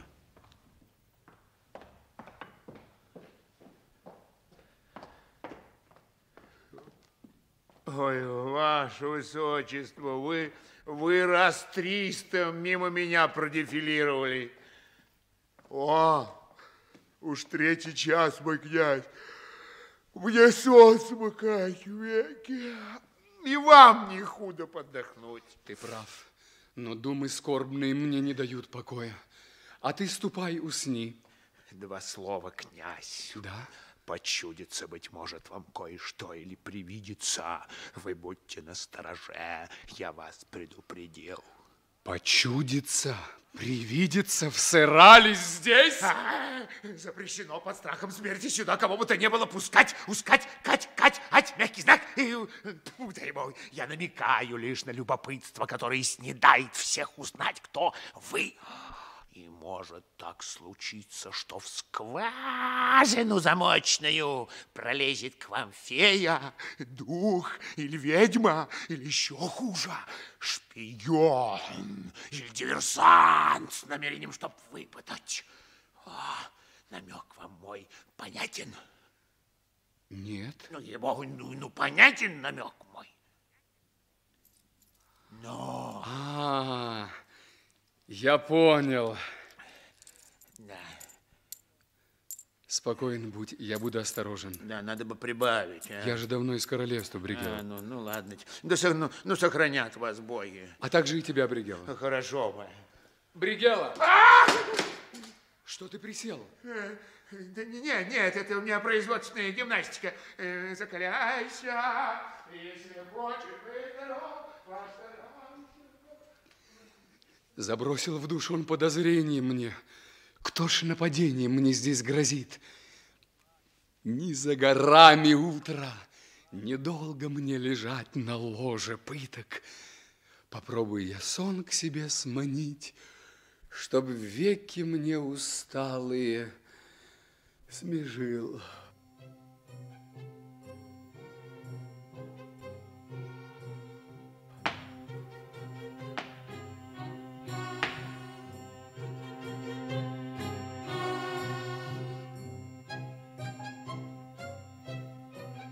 Появляется Скирина, переодетая в костюм стражника.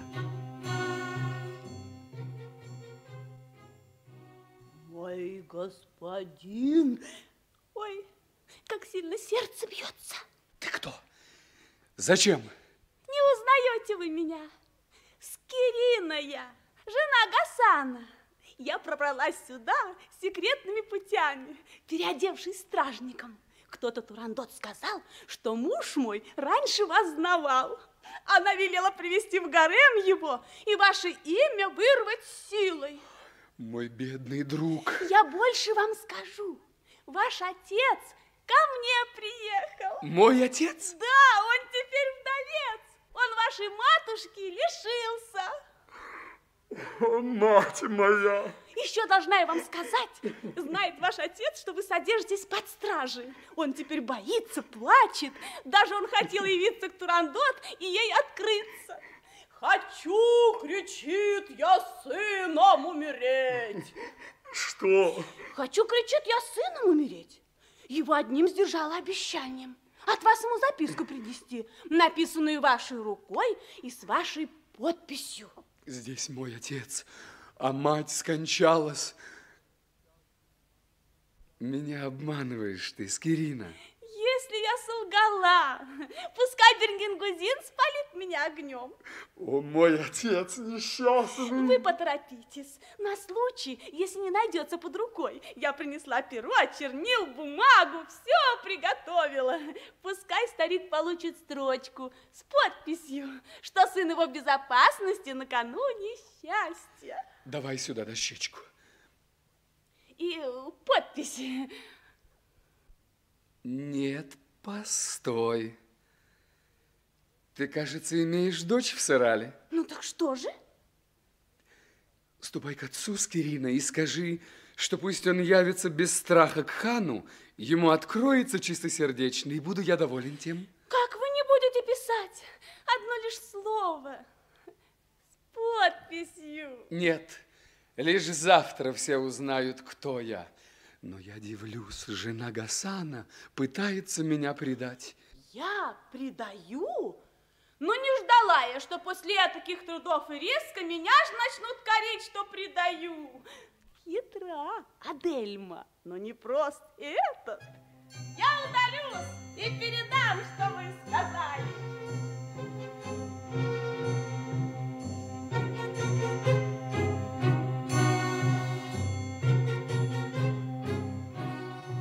Так прав Бригела был насчет видений. Но поклялась она, здесь мой отец, а мать скончалась. Еще одно видение. Послушаем оно, что станет говорить. Калов притворяется спящим. Над ним склоняется Зелима. Как он прекрасен и как сладко спит. Я, князь, служанка Турандот Зелима, я принесла вам радостную весть. Хвала богам, пора б добру явиться. Но я себя надеждою не тешу. Бесчувственно я знаю Турандот. И все ж вы сердце гордое ее смягчить сумели. Вы первый, вы один. Хоть и твердит она, что ненавидит, но знаю я, что любит вас она. Пускай сквозь землю провалюсь к лгу. Ну, хорошо, я верю. Дальше что? Признаться, я, князь, должна. В отчаянии готова принцесса впасть, поняв, что не под силу взяла задачу на себя. Ужасно ведь для гордости ее, что после всех побед придется ей униженной и посрамленной быть при всем диване. И мысль об этом ее гнетет ужасно. Пускай сквозь землю провалюсь к лгу. Не накликай столь страшные кары, верю. Ступай, скажи принцессе, что ей выйти из борьбы легко со славой. Если она научится повиноваться сердцу, докажет всем, что чувствовать способна. Не с этой доброй вестью ты пришла ко мне, Зелима. Нет, не так-то просто покорить нас. Прошу внимания. Я слушаю. Принцесса умоляет ей имена открыть. В остальном довериться ее великодушию. Ей надо гордость ли свою спасти, не быть униженной при всем диване. Тогда она сама сойдет к вам с трона и счастливит вас по доброй воле. Решайте, князь. Опасности тут нет. По доброй воле, а не по принуждению, вам сердце гордое отдаст. А эту речь Зелима не скрепила обычным заключением. Каким? Пусть я сквозь землю провалюсь к лгу. Я по-вашему. Уверен в том. И твоего совета я не приму. Отправляйся к своей принцессе и скажи ей, что слава моя и гордость в ее любви. Так пусть простит отказ моей любви горячей. Вы, князь, подумали, во что вам может горячность ваша обойтись? Пусть стоит хоть жизнь мне. Так ничего вы мне не сообщите? Не сообщу. Даром потратила и труд, и время. Прощайте, князь! Скройтесь, смешные привидения. Но поклялась она в столице мой отец, а мать скончалась. Но мужество уже недолго ждать решения судьбы. и надо мною Бог сна уж веет легкими крылами.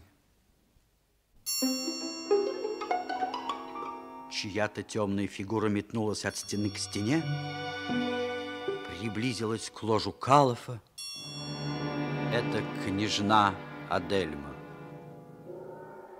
Желанный миг, о вожделенный час, Любовь, ты до сих пор мне помогала, Вливала мужество и силу в душу, Вложишь в уста мне пламенные речи И помоги, влюбленной страстно, Победу одержать.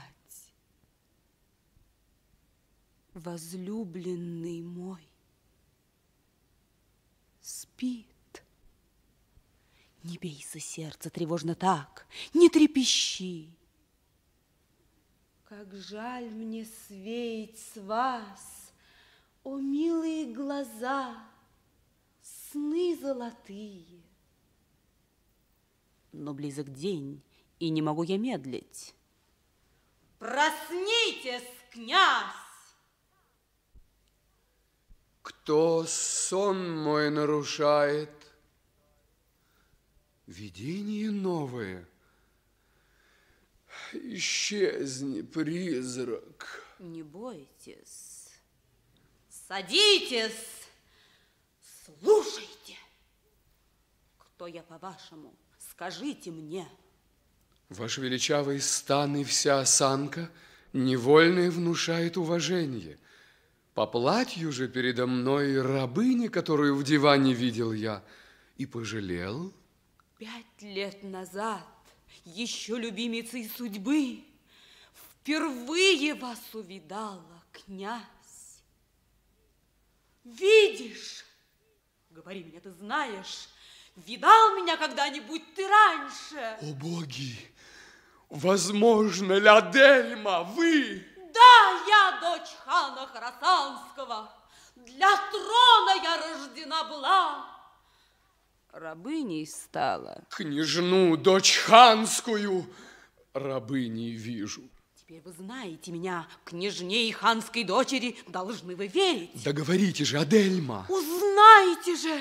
Но нет, Подумаете вы, что я вас обмануть хочу, как те рабыни продажные. Вы мучите меня. Я заклинаю вас сказать мне прямо, в чем можете вы обвинить ее, владычицу моей несчастной жизни. Жестокая, коварная принцесса не постыдилась приказать убить вас завтра, князь. Вот вам богиня ваша. Как только завтра сделаете вы шаг отсюда, вас тотчас же пронзят десятками кинжалов. Бесчеловечная так приказала. Я стражу позову, предупрежу Бригеллу. О, наивный, несчастный! Вы не знаете, где вы, опутаны кругом вы гнусной сетью. Та стража самая, которой хан вас поручил оберегать, принцессой подкуплена чтобы умертвить вас завтра. О, мой отец несчастный, хан Тимур! Тимур отец? Погибнуть должен твой Калав. Калав! Судьба жестокая. Тимура сын Калав. Прости, о жизнь, бороться невозможно с неумолимой судьбой. Твой взгляд жестокая моею пьется кровью. Жизнь улетай, от смерти, от смерти не уйти. Я укажу вам путь ее избегнуть. Там, в моих краях, сокровище зарытое лежит. Нас кони ждут, проводники готовы. Бежим из этих стен, на них проклятие богов лежит. Бежим в Берлу, я соберу войска, восстановлю владенья и отдам тебе. Уж петухи поют. И во дворце движение началось. Заря восходит, с собою смерть неся. День близок, я страдаю, принц бежим. Великодушная княжна, мой друг единственный, как больно мне, что с вами бежать в Берлу, принять от вас свободу и вам помочь отцовский трон вернуть. Я не могу. Что о таком побеге сказал бы хан? И в сердце я своем, княжна, неволен. Желанной будет для меня и смерть, когда она мне шлет ее. Спешите же спастись одна, и да хранят вас боги. Безумец вы! Так вы решили твердо? Решил остаться здесь, дождаться смерти. Нет, не любовь удерживает вас ко мне, презренье. Вам смерть желанней, чем побег со мной. Так оставайтесь. Я рабой останусь. Ни свободы, ни счастья мне не надобно без вас. Посмотрим же, кто смерть смелее встретит. Тимура, сын Калав. Прощайте, неизвестный князь.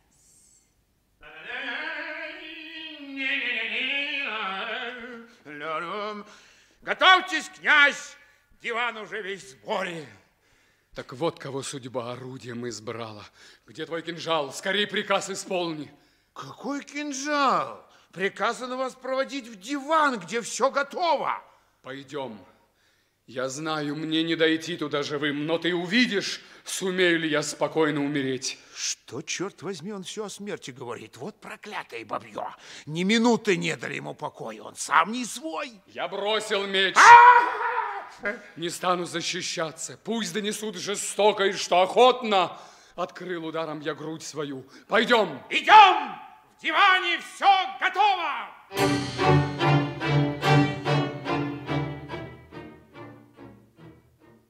Антрект! Третий акт спектакля «Принцесса Турандот».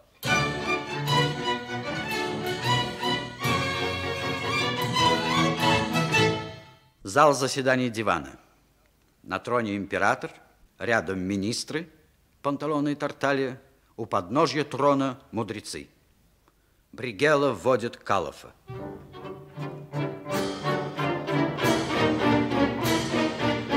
Неужто я весь путь прошел благополучно? Никто меня не тронул.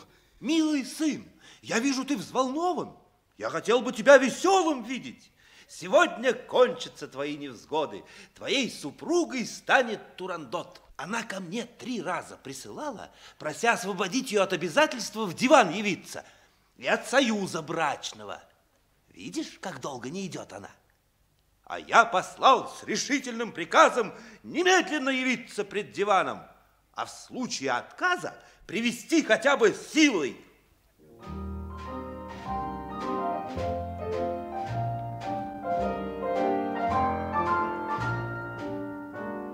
Вот она!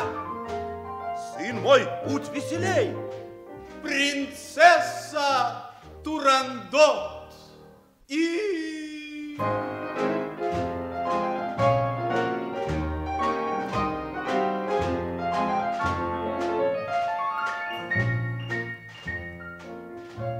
Согласно ритуала, первыми появляются рабыни. Они так же очаровательны и неотразимы, как и в первом акте, но печаль сквозит в каждом их движении. Ведь сегодня решается судьба их гордой и своенравной принцессы.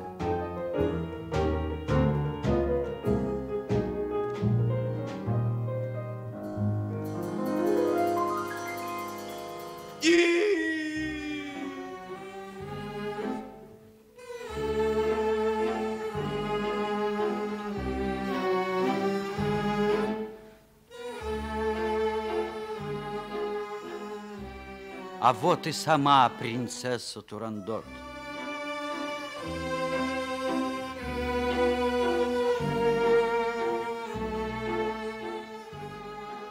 Она в трауре. Ее фигура выражает полную покорность судьбе. Небрежное приветствие публики, кивок мудрецам, полупоклон императору. Принцесса медленно поднимается по ступеням трона. Я знаю, чужестранец, что весь вид моей угрюмой свиты печаль и знаки траура тебя, конечно, должны порадовать. Готова я к союзу брачному, я печаль.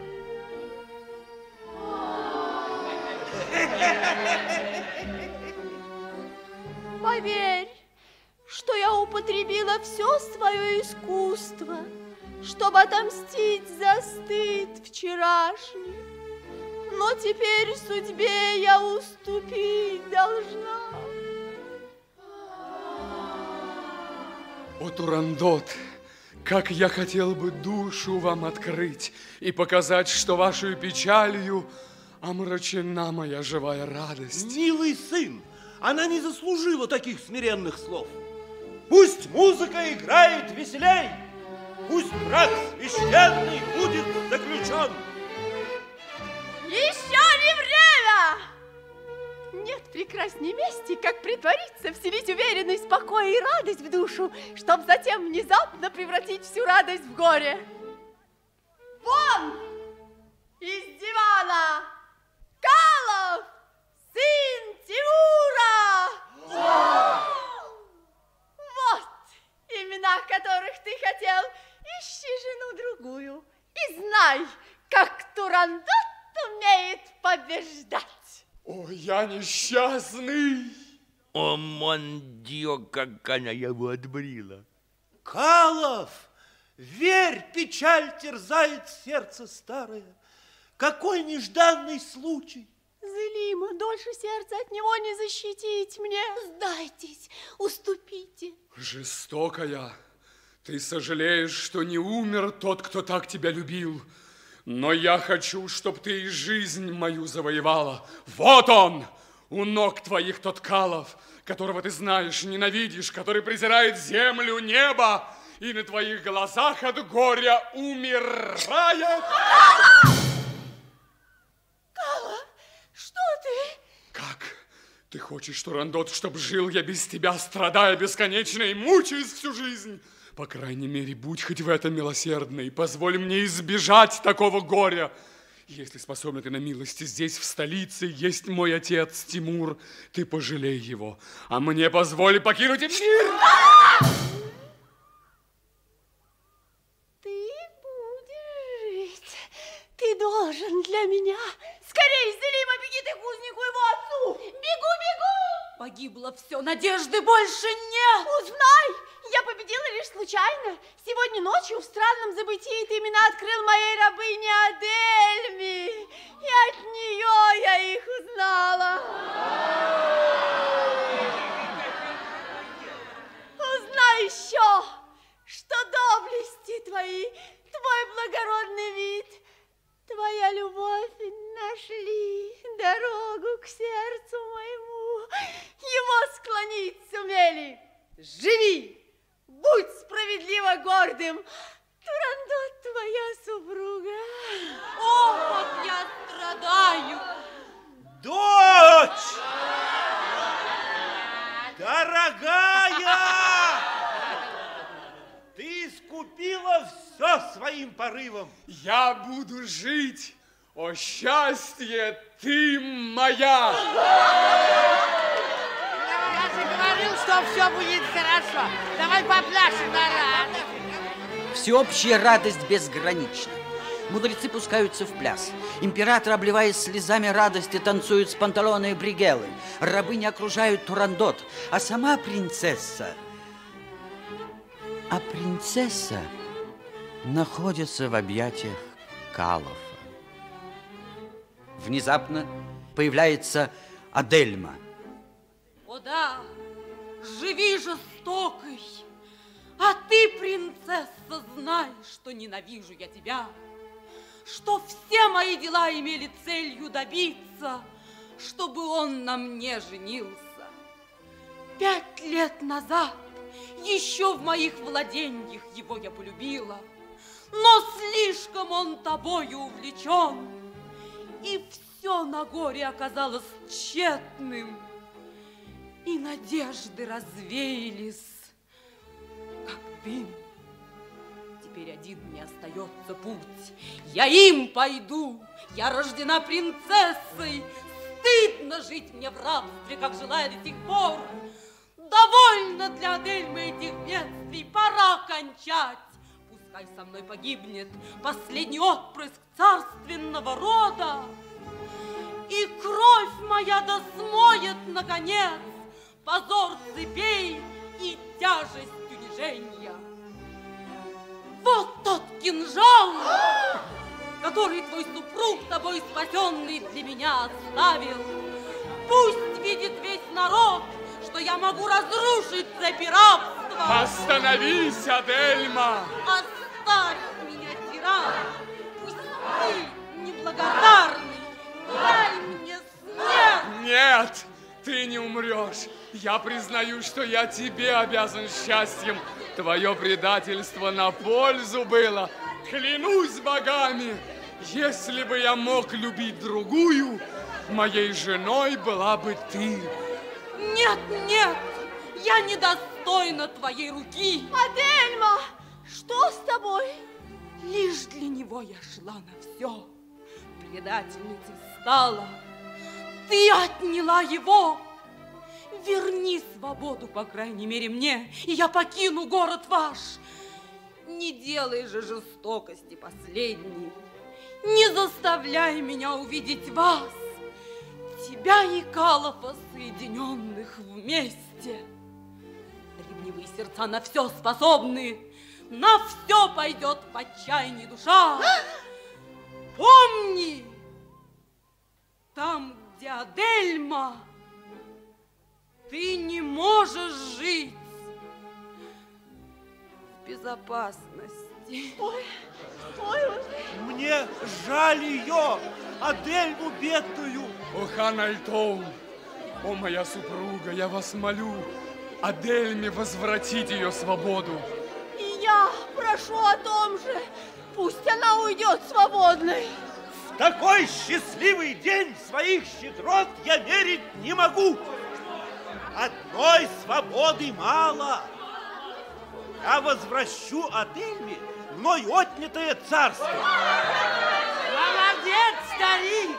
Пусть выберет себе супруга, чтоб с ним благоразумно, мудро, а не слепо, не дерзостно страною управлять. О, государь мой, слишком смущена раскаянием, несчастная Дельма. Моя любовь мешает мне понять и оценить благодеяние ваше. Но время просветит усталый ум. Теперь же я способна только плакать. Нет сил сдержать.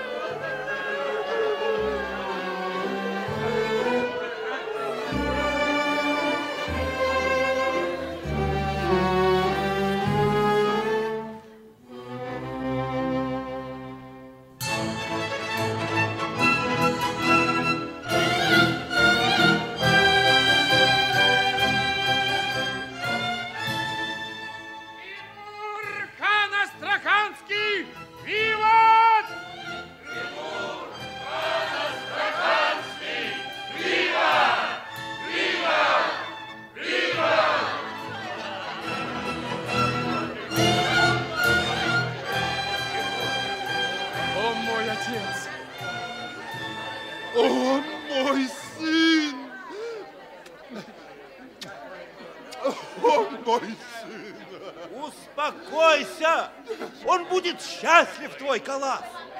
И ты порадуйся, ты снова царь. Твоя земля свободна. Этот варвар Хивинский хан жестоко управлял твоей страной и от руки вассалов, не вынесших свирепой тирании, пал мертвым. А скипетр державный твой твоим министром для тебя был сохранен. Барах выносит скипетр. Это простая теннисная ракетка. Тимур целует этот символ власти и начинает ответную речь.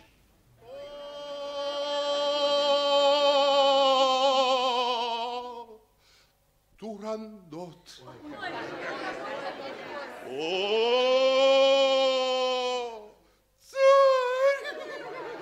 Да брось ты плакать! Что, жертвенник готов? Готов. Храм, в храм, в храм.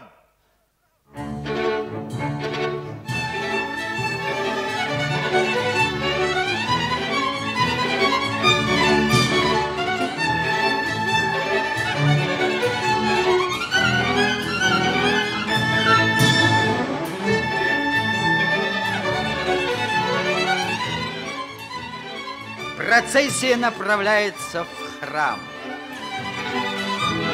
Впереди жених и невеста. За ними император со своими верными министрами. А далее рабыни под командой Труфальдино.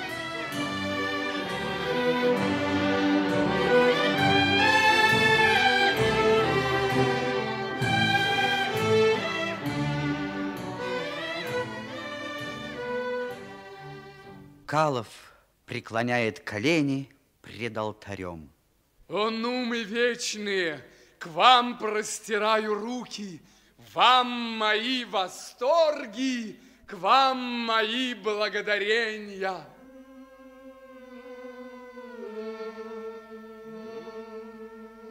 Верховный жрец начинает обряд венчания.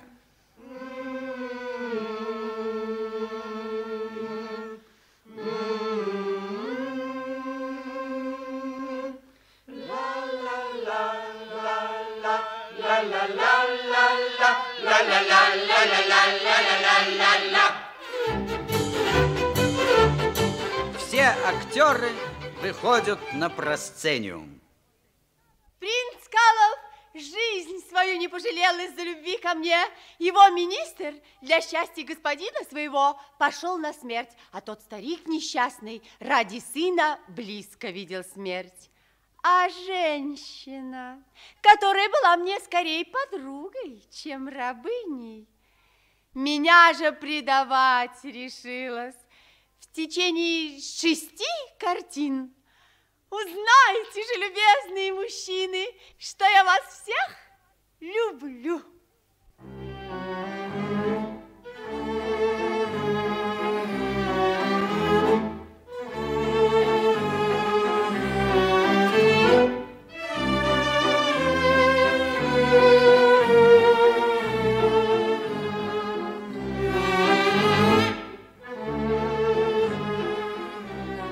вновь взлетают в воздух разноцветные легкие ткани. Актеры снимают театральные костюмы. Плащ Адельма становится обыкновенным шарфом, одеяние Тимура простой скатертью. И мы опять видим актрис в бальных туалетах, актеров во фраках.